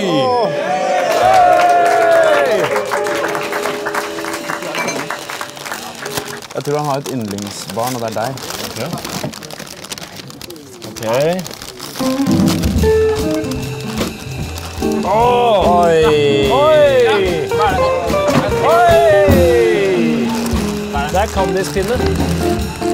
Papirteip.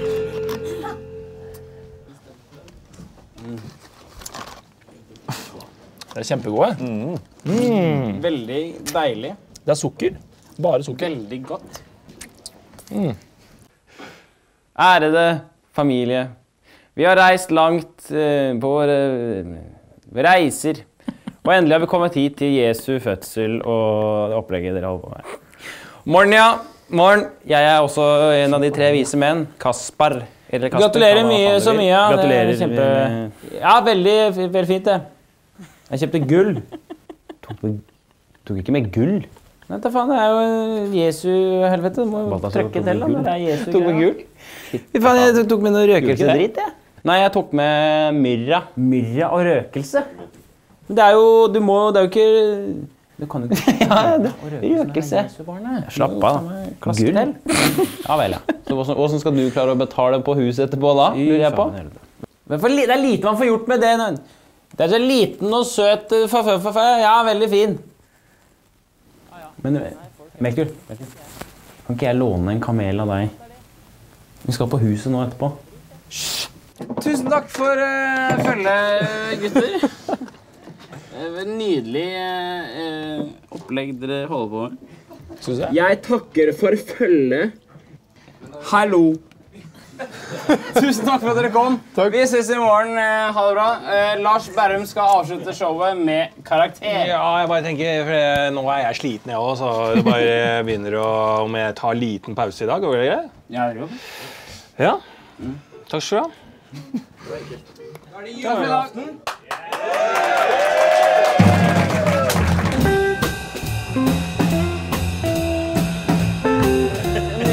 Fint, det. Du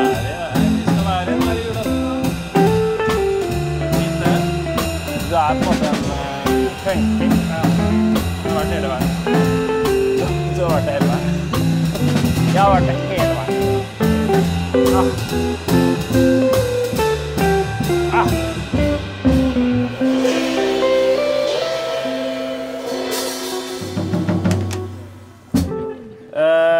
Jeg heter Martin Marki, og du heter Vegas Ryggestad. Men i dag er det julaften. Ja, og ingen kan ta oss på det. Nei, ingen kan ta oss på det. Og jeg har på meg skjorte, jeg har på meg T-skjorte, jeg har på meg bukse, sko, og jeg er klar. Du er klar? Klar for å feire denne episoden. Det Det er, det er så bra, Vegard, at du er klar for det. Jeg er veldig klar. Fordi jeg håpte på at du kom og var klar. Ja, men du, du sa 'kom og vær klar'. Og det er så bra at du er det. Ta på deg klær, ta på deg sko. jeg skal det. Ja, du har det. Jeg har det klart bak her. Du har klærne klart. Det er viktigste. Se for deg meg, da. Se for deg naken. Se for deg Martin naken. Se for deg meg naken da, Miguel. I klærne. Det er fantastisk og, og at dere er en del av uh, siste show. Mm. Lars Berrum er ikke hvem som helst. Nei. I kveld. Skal vi Hallo! Er det Lars Berrum jeg snakker med? Ja, det er det. Hei, Lars Berrum. Hei. Jeg skal gjerne bestille 1000 pizzaer til kongehuset. Oi, yes. Er det tulletelefon? og det skal være pepperoni. Nei, nei, da skjønner jeg at det er tulletelefon. På julaften? Ja, på julaften, Ja, sier så vi. gjerne, hvis det er Nå hører jeg noe fra kjøkkenet her. Fra julaften, sier vi fra kjøkkenet. På julaften, sier kokken. Ja, på kokken sier det. Kan det, kan det komme på julaften? Nei, vi begynner å Er det kødd, tror du, kokk? Vi har ikke så mange folk på kjøkkenet. Det Jeg er har ikke så mange folk, sier kjøkkenet. Kan jeg få det lille julaften, da? Ja. Ja. Ja. Da skal jeg ha 1000 pizzaer til Du skulle eh, hatt. Det er fortid. Ja, skulle hatt. Du Til skulle eh, hatt. regjeringslokalet. Ja, vi lurte dere nå. Regjeringslokalet. Og jeg vil ha dem i går. Jeg, Jeg vil ha dem i, i går. Takk for i dag. Skal vi åpne luke? Ja, vi vil ha luka!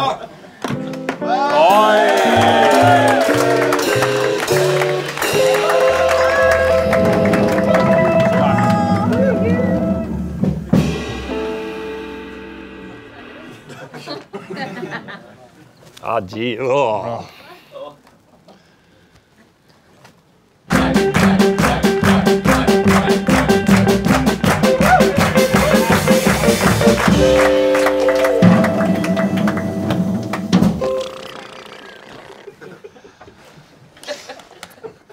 Jeg er bare en mann som gjør så godt han kan. Vi har nett. Jeg, er bare en mann som gjør så godt han kan. Og vi har det ikke til. Jeg prøver så godt jeg er. Jeg er bare en mann.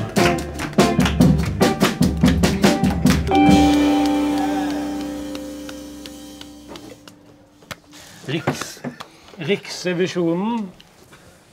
Takk til bandet som kaller seg Riksrevisjonen.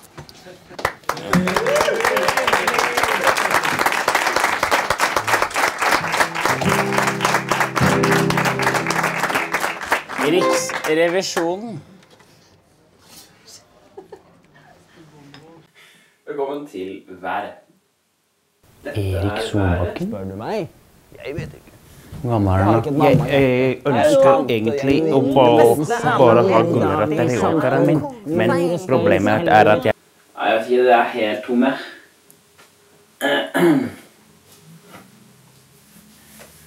Kan du f... Nei, det må kanskje ikke.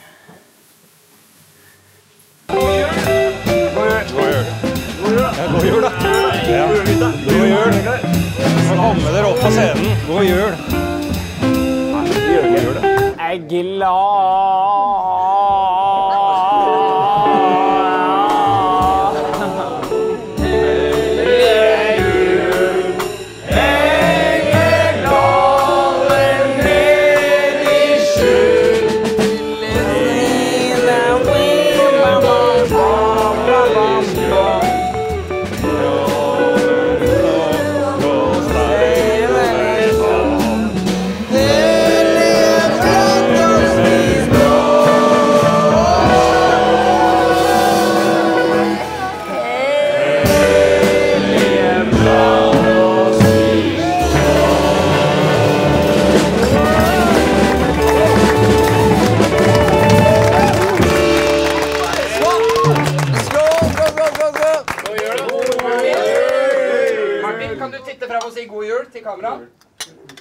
God jul til kamera.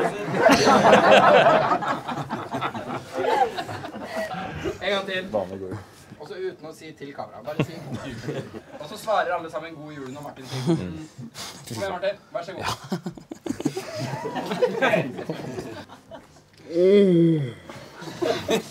God jul, da, folkens. God jul! Hvor harry? Fy faen.